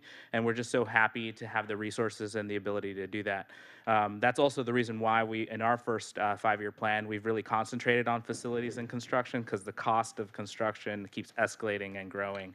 Um, we were able to find uh, a project that was actually less than our original uh, thought of what it would cost us, and that was just a lucky chance of us uh, coordinating with a, a, landowner that understood the value of community and understood uh, what this would mean for our community. So thank you uh, to the owner that sold us that property. Um, I just wanted to share that we're continuously growing. Uh, we're seeing growth in our transportation services, and we're continuously trying to let our community know that the service is available. So um, this is one of those opportunities to remind everyone that um, Lift Line is available for everyone, uh, and you can apply online at uh, communitybridges.org. And uh, hopefully, you'll be able to provide free medical services for those in needs in our community, maintaining their place of independence and safety in our community, and providing um, uh, door-to-door service to those most in need. So, thank you, and thanks for all your help. Thank you for your services.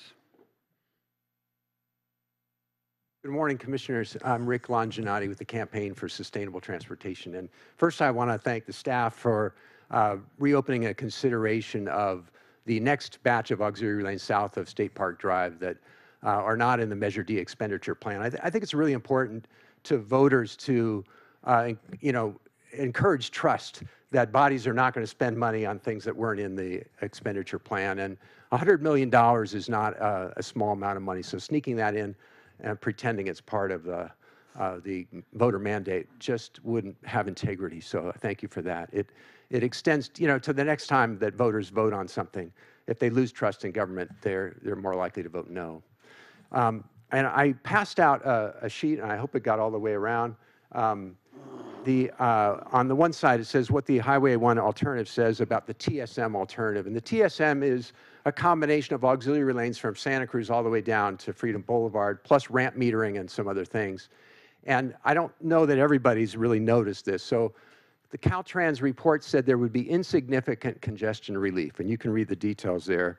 There'd be no improvement in, in the rate of accidents on account of these auxiliary lanes. And even the report that you have before you today says in, incorrectly that auxiliary lanes are, are going to improve safety on the highway, but that's not what Caltrans found.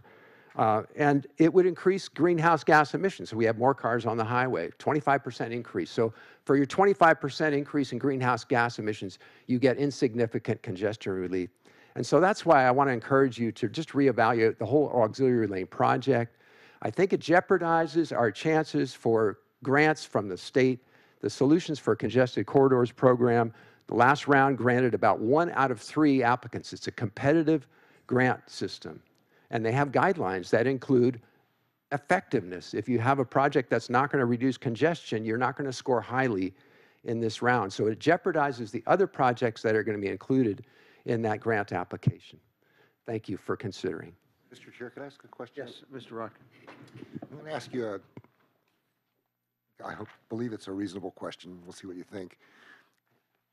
You just talked about the importance of sort of keeping trust with the voters and sort of letting them know what we're up to and so forth. I know you think, believe that the auxiliary lanes are not helpful and in fact dangerous in terms of. I'm just quoting Caltrans. I, I understand your source and everything else. Yeah. What about the fact that the voters voted for a measure that included those auxiliary lanes? Is, are, are, I mean, again, that was a package deal with a bunch of stuff in it. Some of us liked parts of it and didn't like others. A lot of people swallowed hard and said, okay, the overall thing is good enough for this community that I can live with it. What does it mean to the voters that, even if you're absolutely correct, that they believe they were going to get that, and they, whether you think, you know, think Caltrans is right, they have a different view. Isn't there a problem with them, holding faith with them on this question? That's Yeah, my I question thank to you for that question. It's really a, a difficult one. I think that the voters were voting for congestion relief. And if you recall, before Measure D got a name, this body approved an over $100,000 expenditure to send a mailer to all voters in the county saying this package is going to relieve congestion on Highway 1. And they were, that was, became Measure D, and they were, what they were referring to as auxiliary lanes. So that, it was a disingenuous piece of mail because Caltrans said it wasn't going to relieve congestion. So we have a problem. Now the voters believe what you told them, and now you're saying, well, now we have to honor the voters' opinion. At some point, that, that vicious cycle has to get interrupted by somebody with integrity to say to the voters, I think what you really want is congestion relief, and these auxiliary lanes are not going to do it. But we do have something that will help, which is the bus on the shoulder, which does not need auxiliary lanes. It, it, there's a, a myth going on that we have to build auxiliary lanes in order to have bus on shoulder. There's no other place in the country that has bus on shoulder that runs it in auxiliary lanes. It's always a, uh, a lane dedicated to buses. So that's what I think somebody's going to need to tell the voters at some point. Thank you, Mike. Did you get Yes, I do.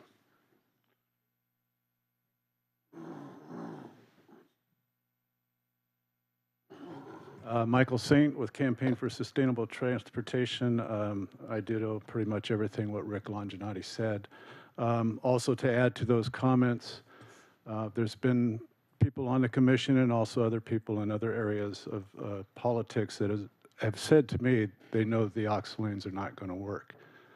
Um, And that's all more I'll say. Rick made it very clear how we feel at, at campaign.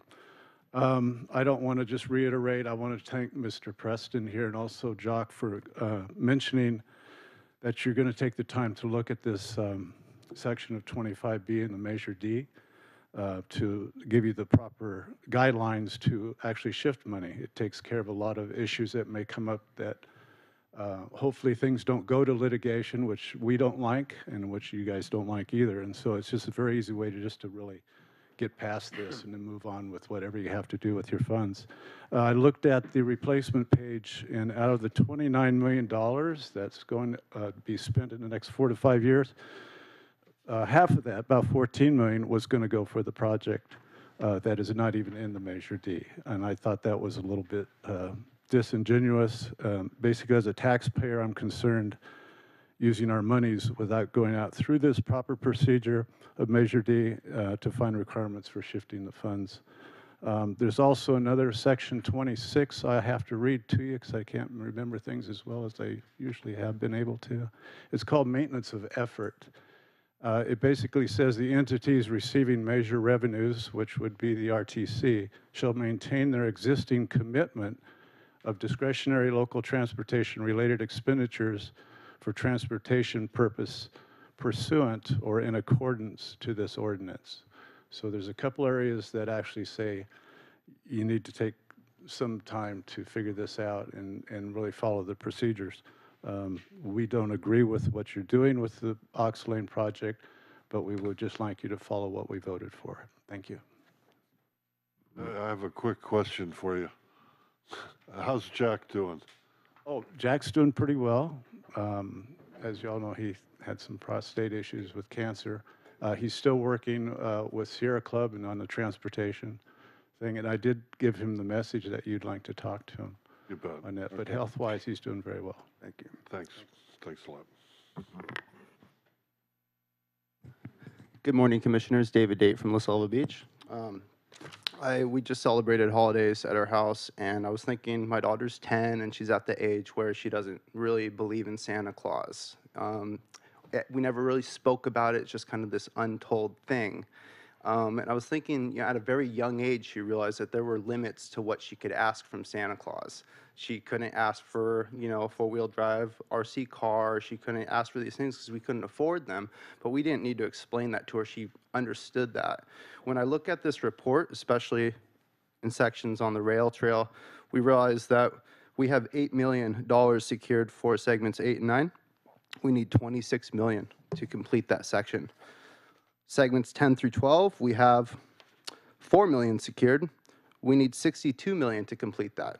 So when I look at these numbers, I, I realize this isn't really a plan. No one knows where this money is going to come from. And time after time, every month we show up and we vote these things through when there's no feasibility finding. A plan suggests that we know how we're going to do it. And there's no money here. So we need to reconsider the whole thing. So please consider that in your vote, and maybe we can send this back to staff and come back with something that works for everybody. Thank you.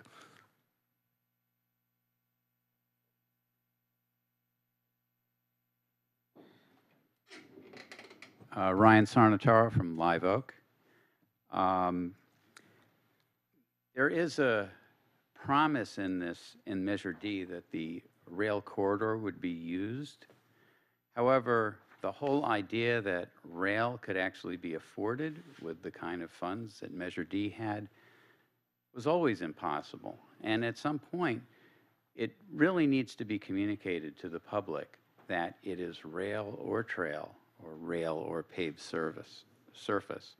And that in the meantime, people are just going to see the same rusty, unused place where their children or themselves could go and actually have some level of safe movement throughout this otherwise relatively unsafe city in terms of bicycles.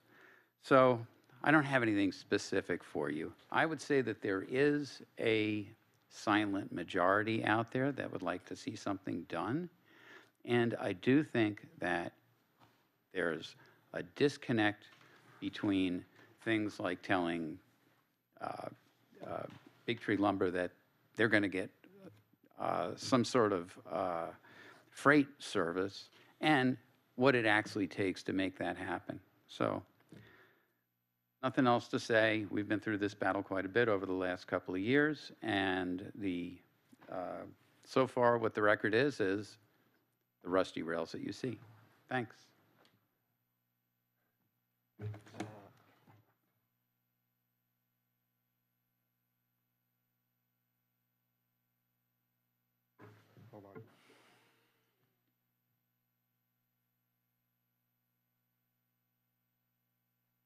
Another presentation? I have slide.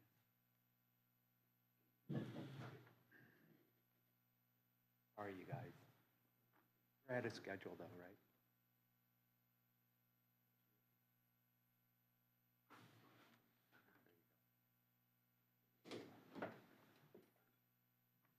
No, no, no, no.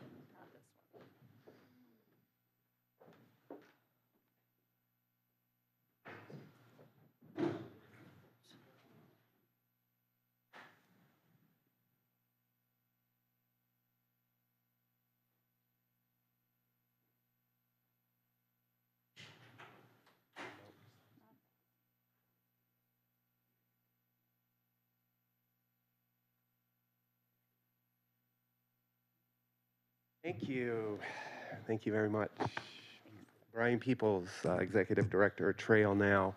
Um, We supported Me- Measure D. We were big supporters, and we commend the staff on the good report, um, plan. Um, We created this matrix to give an overall cost of the entire rail corridor, segments 1 through 20, and we can see a lot of gaps in, in, not only in having actual plan, but having um, the money to fund all of it. Um, we believe that it's important to have, uh, this shows that there is no way of having a continuous trail. It's not possible. And we want the RTC to look at maybe some short-term solutions, um, because as we discussed early on during the oral communications, key transportation connectors are, are very important, and that's what the Santa Cruz Coastal Trail is. So what we're offering up is a platform trail concept which will meet that short-term uh, requirement. It's a prefab engineered system that we've been discussing with Progressive Rail to partner with them on this concept. What we're, we're offering up, and we're offering actually to pay for it, um, is a working, a private-public relationship. We've actually been talking to the PUC. We've also actually had the attorney who represents Progressive Rail on national issues. And what we're proposing is possible and viable, and it meets all the legal requirements. Um, so again, what we're looking for is a short-term solution um, that we believe will enable us to start using the rail corridor today as an alternative to the cars. We really need to open that up. This solution will not require the removal of the tracks. It will allow us to keep the tracks, man- manage the tracks, um, and it supports your long-term plans. We're not pulling the tracks up. You come along, you put your trail in alongside of it, you shift the tracks over. We're still partnering with them. We're paying for it. Really, this is this the comp- the compromise. I can't say that. Compromise. Thank you. The compromise for all of us. We've been battling it. This is the compromise. Not only is it we're not asking for the money, we're offering it up, and it will save you a lot of money on maintaining that corridor. So we're, we're hopeful that um, you do look at short-term solution and you do support Progressive Rail's partnership with us. They're, they're in on it with us. They, um, they're trying to make a business out of the freight operations. Their CEO had to come back. The bank required him to come back because they're a short line operation. It's difficult business. Thank you very much.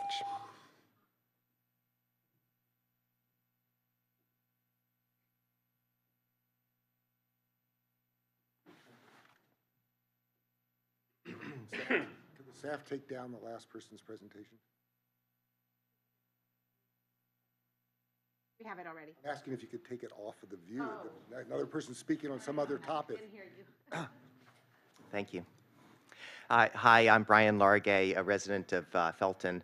Uh, Thank you for the opportunity to speak with you today, commissioners and staff. It's an honor to be here, and uh, I can't say enough how much I respect your service to the community and the public. Uh, The the path you've chosen is not an easy one, and uh, and yet it is the best way to make the world a better place, as far as I can tell. And I want to thank you for all your hard work on that.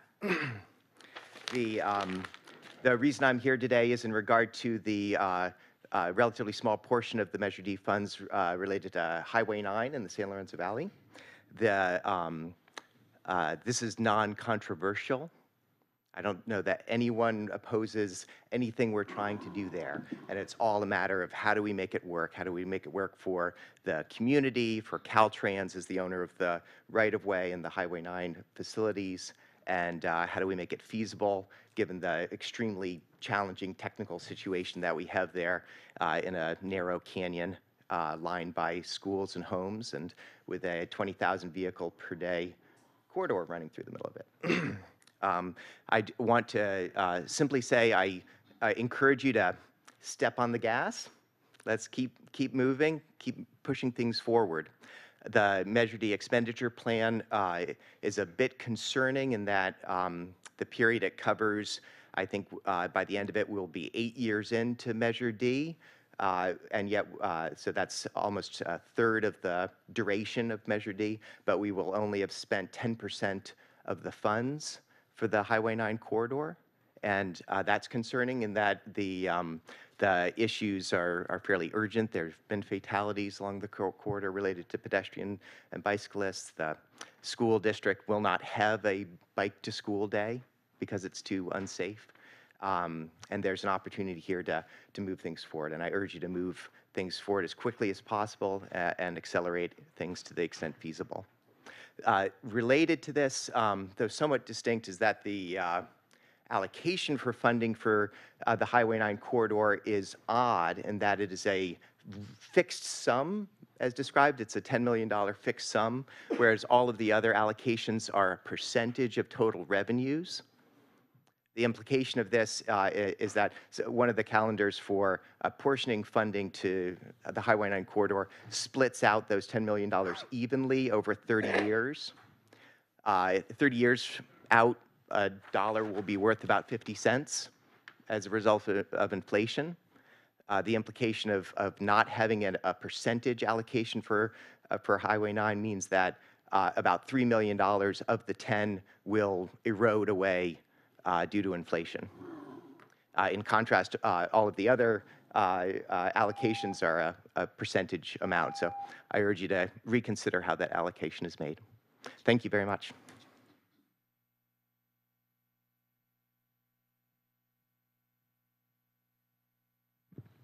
Good morning, Commissioners. I'm Sally Arnold, Board Chair of Friends and the Rail Trail. Um, We are pleased to see a plan for implementation of the Measure D projects, um, especially, of course, the rail and trail. Um, But, um, and we understand people's frustrations about how slow things are. I was thinking about it as I was listening to, you know, that discussion, how, I don't know about your house, but at my house, there is no project too small to not require at least three trips to the hardware store. I mean, it's just the way building things and fixing things goes. And um, on this grander scale, you know, it's particularly frustrating, but we understand that that's, that's how it happens. We've noticed that the cost estimates for many of the projects in all the categories are significantly higher than their previous estimates, and, and we understand, you know, that that's how things go sometimes. Um, we are very excited, of course, that actually there's going to be another segment of the trail breaking ground this month, and um, as uh, Mr. Preston already, uh, you know, in- mentioned to you, you know, we really invite everybody to come to the groundbreaking party on the 25th over by the railroad tracks um, on, um, at the Santa Cruz Mountain Brewery, so we can celebrate some progress happening. Um, And it was very heartened to hear Mr. Preston explaining the complex funding system and ways in which small amounts of money can be leveraged for larger amounts of money, and that the, um, and the, and the idea that, you know, it takes a while to get every project in the chute, but we're now entering that period of time when things are going to be built, and that's very exciting. Um, We do have a concern that in the rail corridor analysis of options, um, the project fact sheet, that's page 89 and 90, it says the RTC will likely need to secure additional grant funds for feasibility and environmental work. And our understanding was that Measure D explicitly provides funds for feasibility and environmental design of passenger rail transit, as well as funds to maintain the rail line in a functional condition. So Measure D funds are meant to cover the project development work in order to make the project's constr- the projects construction ready and thus potentially available for those uh, state and federal funds. So we were uh, concerned about that. And, you know, and then in light of, the- you know, some other cost overruns that we've discussed, uh, we're wondering that the plan to add a new project to Measure D, you know, those, those ox lanes past uh, State Park Drive to Freedom, seems to us that that adds an additional burden to Measure D, and maybe it's already oversubscribed. And so we would like you to just consider that um, as you're, you know, making plans for what you're going to spend this Measure D money on. And thank you all for your support for getting all these important transportation projects happening in our county. Anyone else would like to speak to some of the public?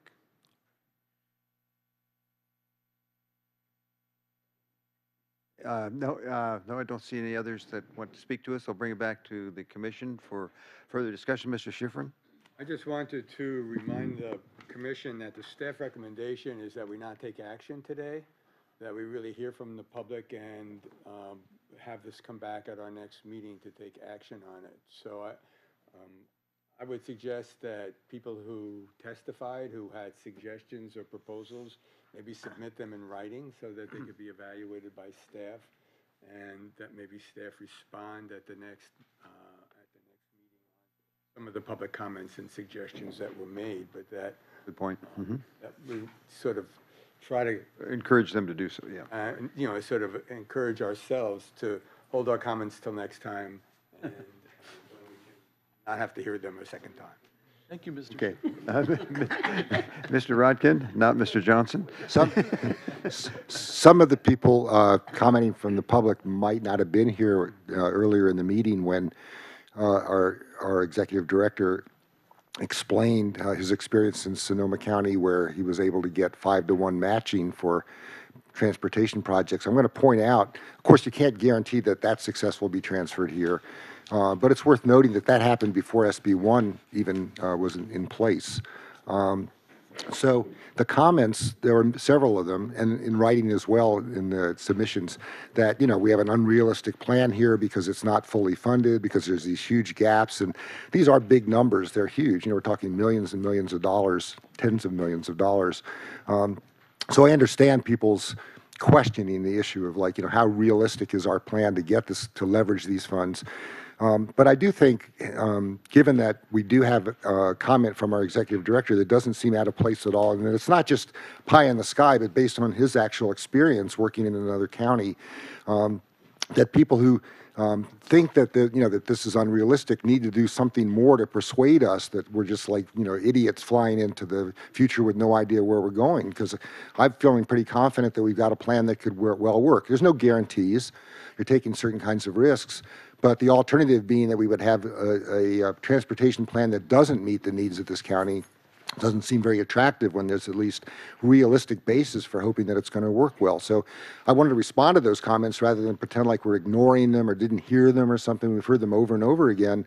But I think the onus is on the people making those comments to suggest why we're being unrealistic about this when we have every reason to think it's a very realistic approach to where we're going. Thank you. And I appreciate Randy asking the question that got that answer. I- I'd I'd like um, to mention, um, I I think it is good, we're we're going to hear more next month month on this, but, you know, Measure D passed in November of 2016. It wasn't until just, what, less, a little less than a half year later that SB 1 passed. So how we can make that mix and match to the the biggest benefit of, for the the motorists, bicyclists, pedestrians in Santa Cruz County, uh, we had to look at that too. That was new. We weren't sure that SB 1, as a matter of fact, that was a years-long str- uh, struggle up in Sacramento. So we're trying to see how we can mix and match and leverage, as was mentioned, as best we can with something that wasn't in place when the voters passed Measure D. So I think that has something to do with the way we're looking at this at this point this year compared to November of 2016. Any other comments, Mr. Are we Caput? gonna, are we gonna vote on this? No, we're not going to vote today on it. We're just going to receive uh, this uh, uh, im- implementation plan. We're going to discuss it and make a, presumably a, de- uh, a decision next month on how to proceed. No, So, I, uh, yeah, we don't need a motion on this at this point. I would I- make I a motion. I that we understand Continue, that, but that I- you make, Continue make a this motion the to next continue. meeting And direct staff to um, return with a response to some of the comments that were raised. Second. Second. Okay, we have. What I'm getting at here is, uh, we have a resolution in front of us, right? Not on this. No, do not. no, No, no, we do we not. don't? Next month, we're going to. Next month we will. So it was moved by Schiffrin, seconded by Gonzalez. Okay. Okay, all in favor? Aye. Aye. So ordered. And thank you for the input, again, from the public, very important for us to consider. Item number 20, the Transit Corridor Alternative Analysis Communications and Stakeholder Involvement Plan. Go into it. Uh, Sh- Shannon Munz.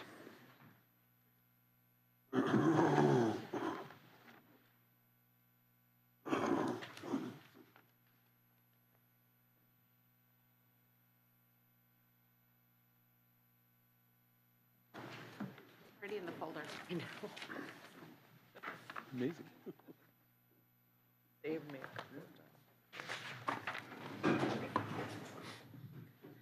Good morning, Commissioners. Shannon Munz, I'm the Communications Specialist on your staff. So I'm here today to ask you to provide input on and approve the Transit Corridor Alternatives Analysis, Communications Stakeholder, and Involvement Plan. In November 2019, the RTC, in partnership with Metro and the HDR consultant team, began work to identify future options for high-capacity public transit on the Santa Cruz County Branch Rail Line through the Transit Corridor Alternatives Analysis. To ensure that to the greatest extent possible, interagency consultation and public participation is an, are an integral part of this process, we developed a communications and stakeholder involvement plan. This plan will guide our outreach process, and it lays out the engagement strategy at each milestone of the project. It also identifies target audiences for us to do outreach to, as well as outreach objectives, strategies, and tactics. So there are three key technical milestones where outreach will be done to the public to ensure awareness, education, and input is sought at the right times. Let me, okay, so these are the three milestones that we will be doing robust outreach around. Uh, milestone one, the goals, screening criteria, performance measures, and initial alternatives. At this milestone, we'll gather input on the initial universe of alternatives that are going to be looked at. We'll also get input on the draft screening criteria and performance measures that will be used. Uh, milestone two, the screened alternatives. At this point, we will share the alternative screening process results and highlight the narrowed down alternatives. So from the first milestone, uh, the list will be narrowed down. And we'll gather input on that short list of alternatives to be considered. At milestone three, the preferred analysis results and locally preferred alternative. That milestone will highlight the analysis process that we used on the short list of alternatives, share performance measure results, and then seek input on the locally preferred alternative that we had narrowed down to. So for each milestone, we have four tiers of outreach that we'll be doing. So milestone one, we'll start with uh, tier one will be outreach to our agency partners. That includes the Alternatives Analysis Ad Hoc Committee, which is made up of three members of your commission and three members of the Metro Board, our RTC advisory committees, and our partner agencies. So for this outreach, we'll be do present, doing presentations at scheduled meetings for all of those organizations. And then miles, or I'm sorry, tier two will be outreach to our stakeholder groups. And these are community organizations, business organizations, all different types of organizations around the community that we will be doing focus groups with. Um, we broke this down into two groups, the stakeholder groups. Group one will be doing focus groups with representatives from our Spanish-speaking advocacy groups, faith-based organizations, human services organizations, and low-income and minority groups. And then our focus group two will consist of representatives from business associations, chambers, major employers throughout the county, advocacy groups for bike, ped, youth, elderly, disabled, and environmental, educational and healthcare institutes, and then neighborhood groups. And for these focus group meetings, we will have meetings in Watsonville and Santa Cruz. And then that would take us to tier three, which will be outreach to the general public. At this point, we'll be hosting open house meetings in both Santa Cruz and Watsonville. We'll be doing very robust online outreach via social media, email, our website, as well as newspaper, bus, radio ads, maybe tabling at events with flyers and fact sheets. Um, just a lot of outreach to for people that can't come to those open houses to make sure that we're getting the word out that this is the opportunity to provide input. And then that would take us to tier four, RTC and Metro. At this point, we would take all of the input we received to the Metro board to receive their input, and then back here to you all to receive your input and approval. So that's milestone one. Milestone two, very similar to milestone one. We would start with our agency partners and presentations at their meetings. Our stakeholder groups, at this point with the stakeholder groups, we would reach out to those representatives that came to the focus group meetings via email and provide them the opportunity and everything they need to provide us input via email. For the general public outreach at this stage, we will have a public hearing at an RTC meeting and then again do very robust online outreach and outreach through ads, tabling, and things like that. Um, and then again, RTC and Metro, we would take the information we get at that milestone to Metro to receive input, and then to you all for input and approval. And then milestone three, again, very similar. We would start with our agency partners, move to the stakeholder groups, and reach out via email again to the stakeholder groups at this point. For the general public for milestone three, we would again host two um, open houses, one in Watsonville and one in Santa Cruz, and then do the robust online outreach, ads, all of those things to get people uh, that can't come to those open houses aware that we are taking input at this point. And then again, we would end with bringing all of that back to Metro to receive input and then to you all for your input and approval. So in December, we brought this plan to the Alternatives Analysis Ad Hoc Committee and received input from them. And today, we're here seeking your input and approval on the plan. So I'm happy to answer any questions that you have on the plan at this time. Yes, Ms. Gomez? Thank you. Um, I guess I have some things lined up for you. Um, I'm not hearing anything about schools. Um, I, I, and the, you know, basically, we're looking at some of this as being a generational kind of a project. so I'd like to see that we're engaging either UCSC, Cabrillo College, PVUSD. Okay, so um, the stakeholder groups, uh, the focus group two, would consist of educational institutions, and we have a list of all of the school districts. We'll reach out to all of them, the colleges, university. So that is part of the stakeholder focus group two list.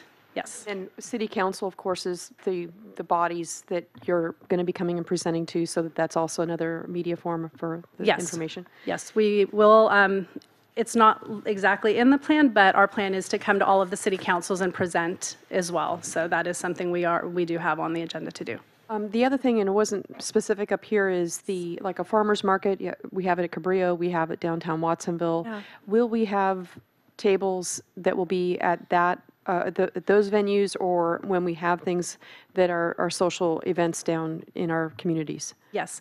So we table at a lot of events throughout the year, just aside from this. Um, We will continue to do that. And when we have outreach opportunities, we do look for other places that we can table. So we will be looking at all types of those events. But um, in any given year, we table, I don't know, 15, ti- 15 to 20 events throughout the year. And so um, if we do have something specific we're doing outreach for, we will look for other opportunities to enhance that. And my last question is timeline. Wh- What are we looking at in the next 30, 60, 90 days, or when we're looking at re- return results? So milestone one will begin outreach in February. Um, We do have dates nailed down. Um, 10, I think they're pretty solid, the dates in February for the outreach. Um, But we're looking at February 5th for focus group meetings, and then the 11th and 12th for the open houses. Um, But we should have that nailed down, I would think, soon. get Yeah. approval today Yeah. for this plan?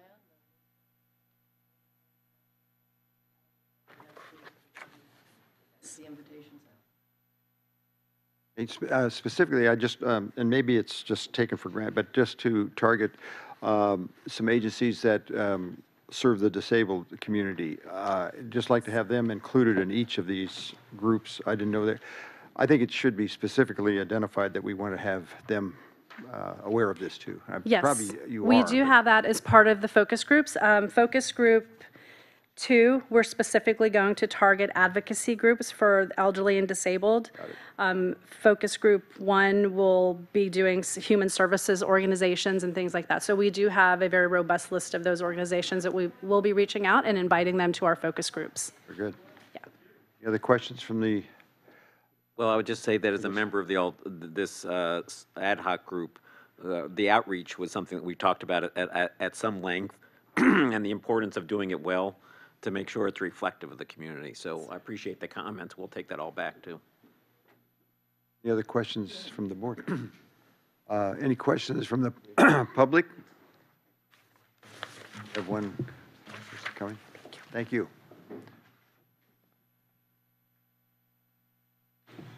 Hi, Sally Arnold, Friends of the Rail and Trail. Um, We, uh, we've been looking very closely at this because, of course, we're very eager to be part of this discussion.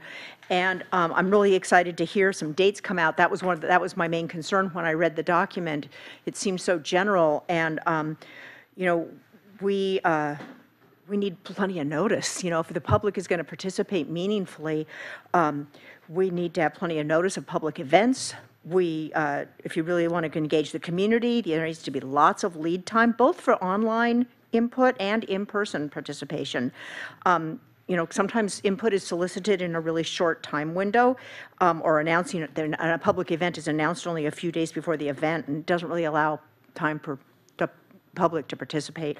Um, So we hope that um, we'll get more specific dates, or even just months. I mean, I understand that, you know, maybe they haven't reserved, you know, the room for their event on February 11th yet, so they're not sure or whatever, but even just some months, some clue as to when these things are happening so that we can plan. And the more specific the calendar, the more useful it's going to be, um, and you'll get more actual meaningful participation. Thank you.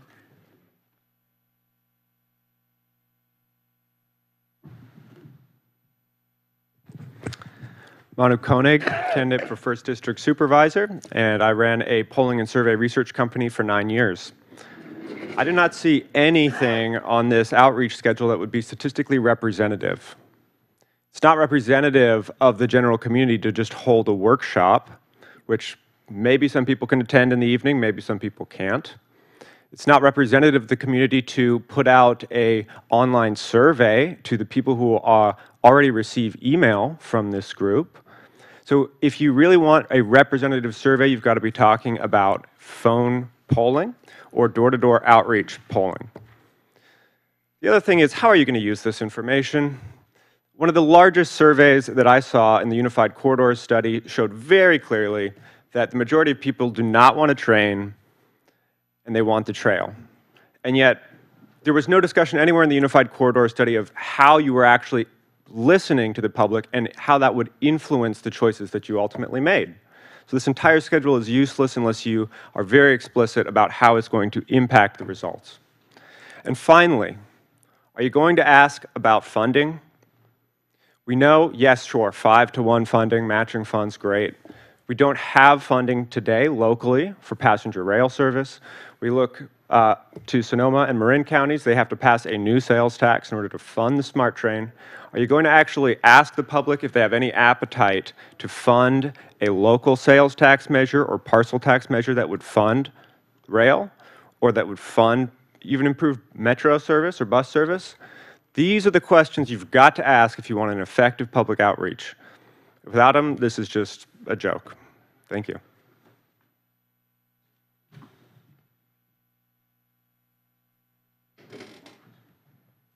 Uh, Michael Saint, Campaign for Sustainable Transportation. Quick question. I saw that this was going to be put out to Watsonville and Santa Cruz. Is it Santa Cruz County or the city of Santa Cruz? Is there anything going to be done uh, outreach-wise in mid-county? Because, okay, good. There's my answer. Thank you.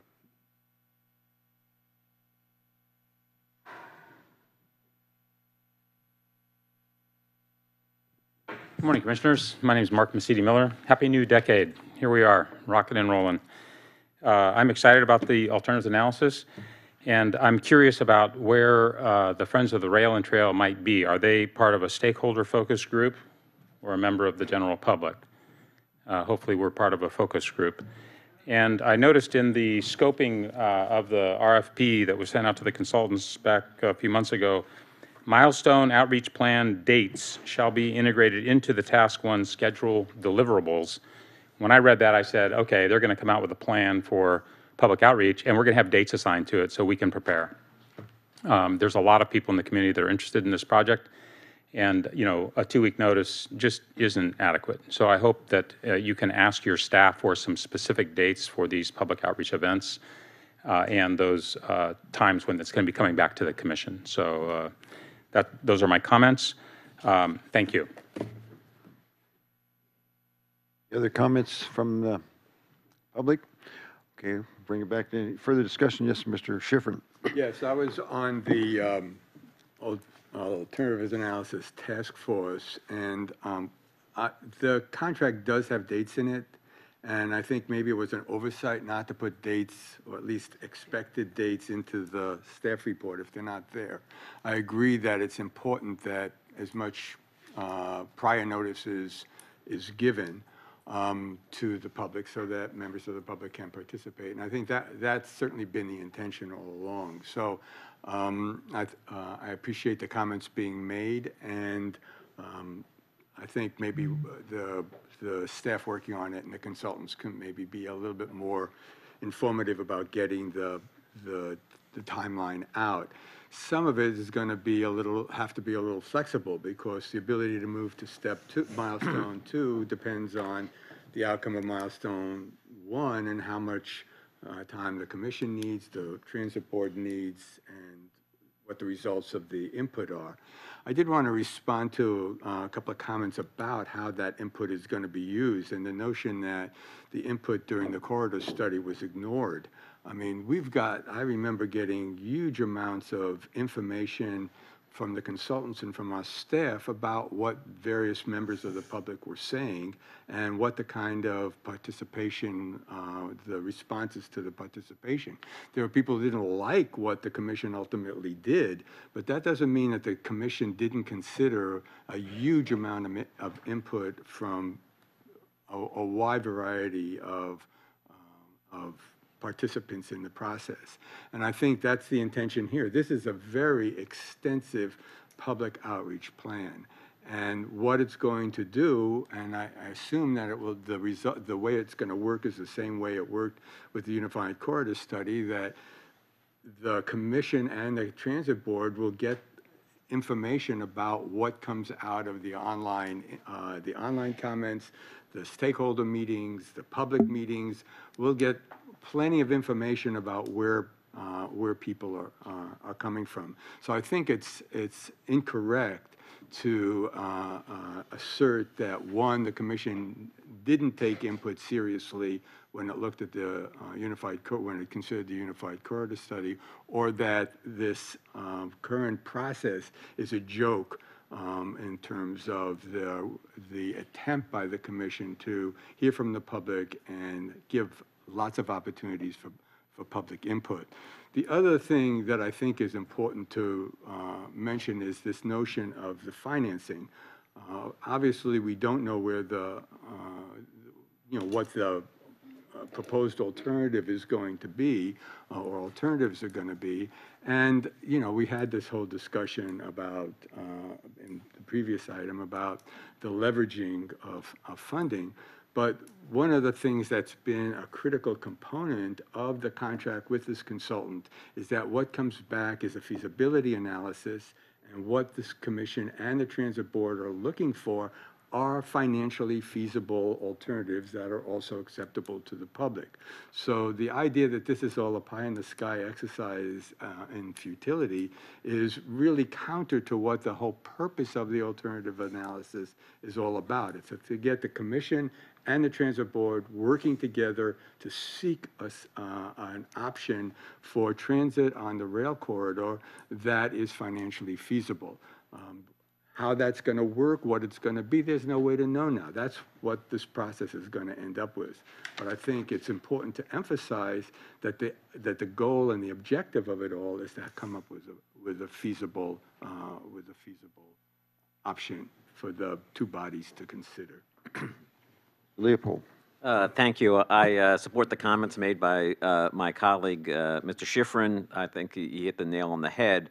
I note the irony that uh, uh, from a speaker who asked us to do an alternative analysis along with the Metro, now criticizing us for doing that very alternative analysis, you know, and and then criticizing us for not having done what the people asked us to. Um, That just shows you that there's a moving of goalposts that happens a lot with transportation discussions.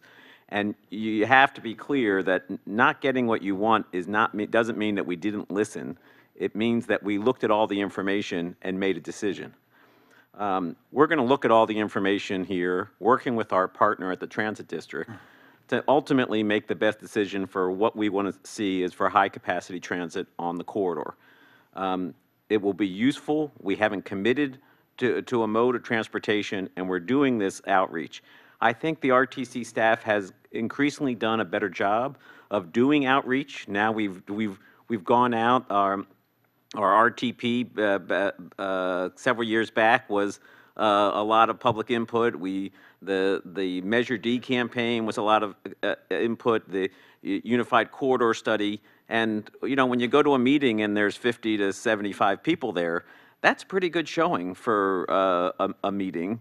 Um, And if you're reaching out to all these different groups, of which I mentioned we have talked with the staff to ensure that it actually happens and to reach the diverse uh, community, uh, we're going to make an honest effort to incorporate those voices within the choices that we make here. So I appreciate the work of the staff, and I appreciate the work on the, the ad hoc committee to keep uh, oversight of, about this and report back to the board as often as possible. Yes, Mr. Johnson. Uh, Thank you, Chair. So um, I, th- I think you kind of make the point of the speaker in some ways, though, um, Mr. Leopold, from the standpoint that, you know, there are 50 to 75 people at a meeting, but there are 275,000 people in the county. So um, as much as the outreach is um, good intentions, and I think a lot of the um, information that comes out of it is uh, most helpful, uh, there's a certain amount of insider where uh, kind of the same people show up with their preconceived notions of trying to, uh, you know, implement their ideas versus uh, actually getting a, a, a, a- a full spectrum of what people really feel.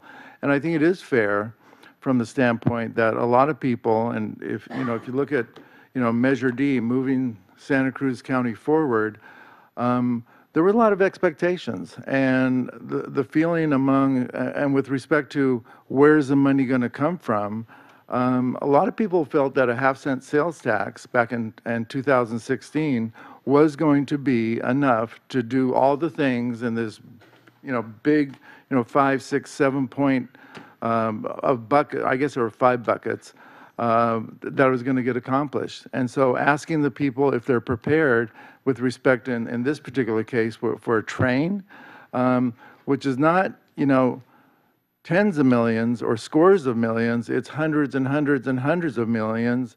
Um, and uh, I think people have a right to know and at least be asked the question if, you know, it's one thing to say, this is what we want, but the other question out there is, is this what we want to pay for and are we willing to pay for it? So um, I'm kind of in the middle. I appreciate the fact that this is a very comprehensive outreach, but at the same time, I'm willing to listen to people that say, look, um, we need something more extensive that reflects the true feelings and, and at least uh, an outreach that reaches more people rather than the 50 or 75 that you described. To be clear, I wasn't suggesting that we would only reach to 50 or 75, but when you hold public meetings and a lot of people come out, w- there's not a room big enough for 275,000 people. Um, And if we, i- if we look at, at- at uh, public outreach, there's no illusion that we're reaching 275,000 people. I'm not We're suggesting trying to is. reach uh, lots of people who are interested in this subject, and there's no doubt that people come to this with their own preconceived notions. But we're trying to reach into the community and provide good information to, to solicit input. And uh, we have to give, uh, public agencies should always be committed to doing that, and I appreciate the work that the staff is doing to try to go out and make that happen. Mr. Rotkin. So I'm going to speak for a moment as a professional that does research on the public opinion. Um, the idea that if you simply do a survey and ask everybody out there, you know, through whatever means you reach them with a survey, a phone call or a knock on their door, gives you better information than the kind of outreach plan that we have here is very deeply mis- mistaken. Um, people need to be informed in order to give you an opinion about various kinds of things. And the studies that we're doing in the process of doing this, in which we get closer and closer to what really might be possible, allows people to give you feedback.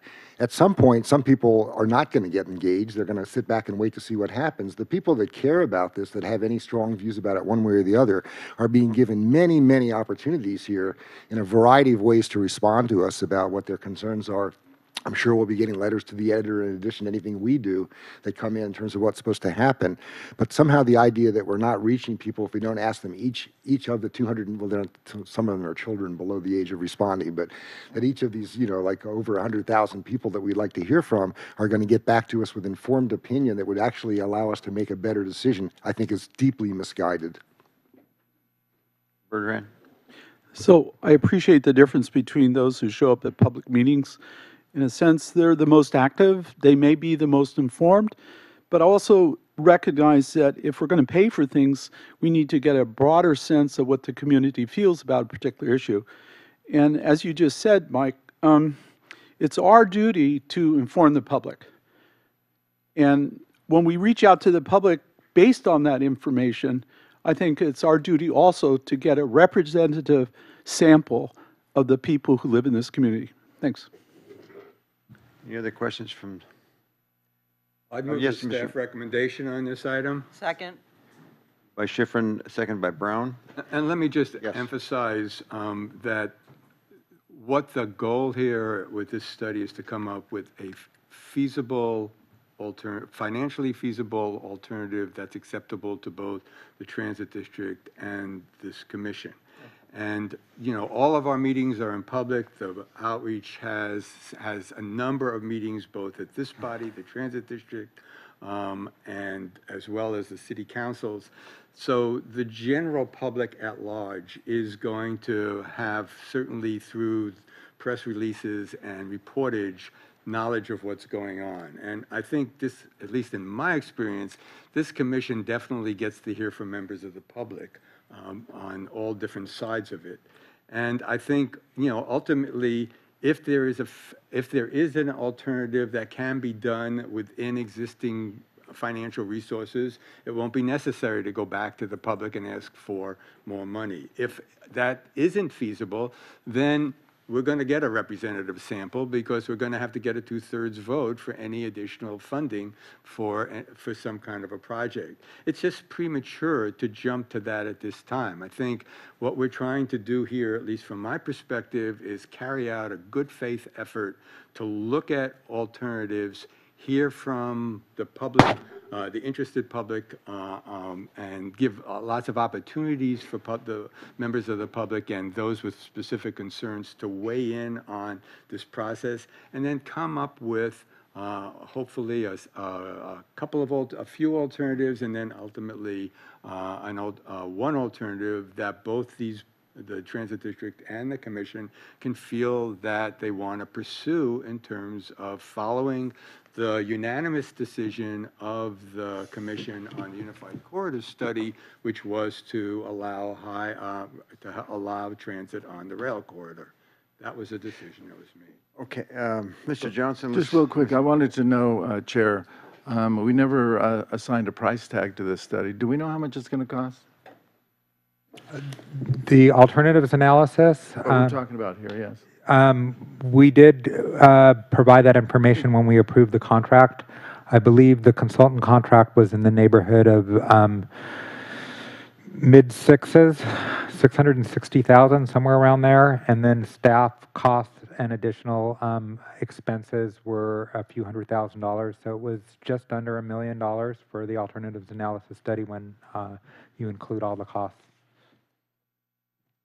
I- would just, uh, to to addend uh, my colleague's remarks, which I thought were very well stated, we are looking at a triple bottom line, and it's not just finances. We are looking at uh, the economics, uh, its impact on the environment, and its impact on equity in our county. That is what we committed to when the RFP that we sent out, and that's how we're going to judge it. The economics will be important, um, but we're looking at these other measures as well to make sure that the community needs are met. Mr. Bertrand? and- Um, Thank you, Mr. Schiffrin. I appreciate your comments, and the laying out the sequence of events, I think is very important. So thank you very much. Okay, we have a motion and a second. All those in favor? Aye. Opposed? So ordered. Okay. Unanimously all no. I mean? Unanimously all Oh, no. unanimously, yeah, okay. Uh, uh, The next RTC meeting is scheduled for Thursday, February 6th at 9 a.m. at the Watsonville City Council Chamber. Um, This meeting is adjourned.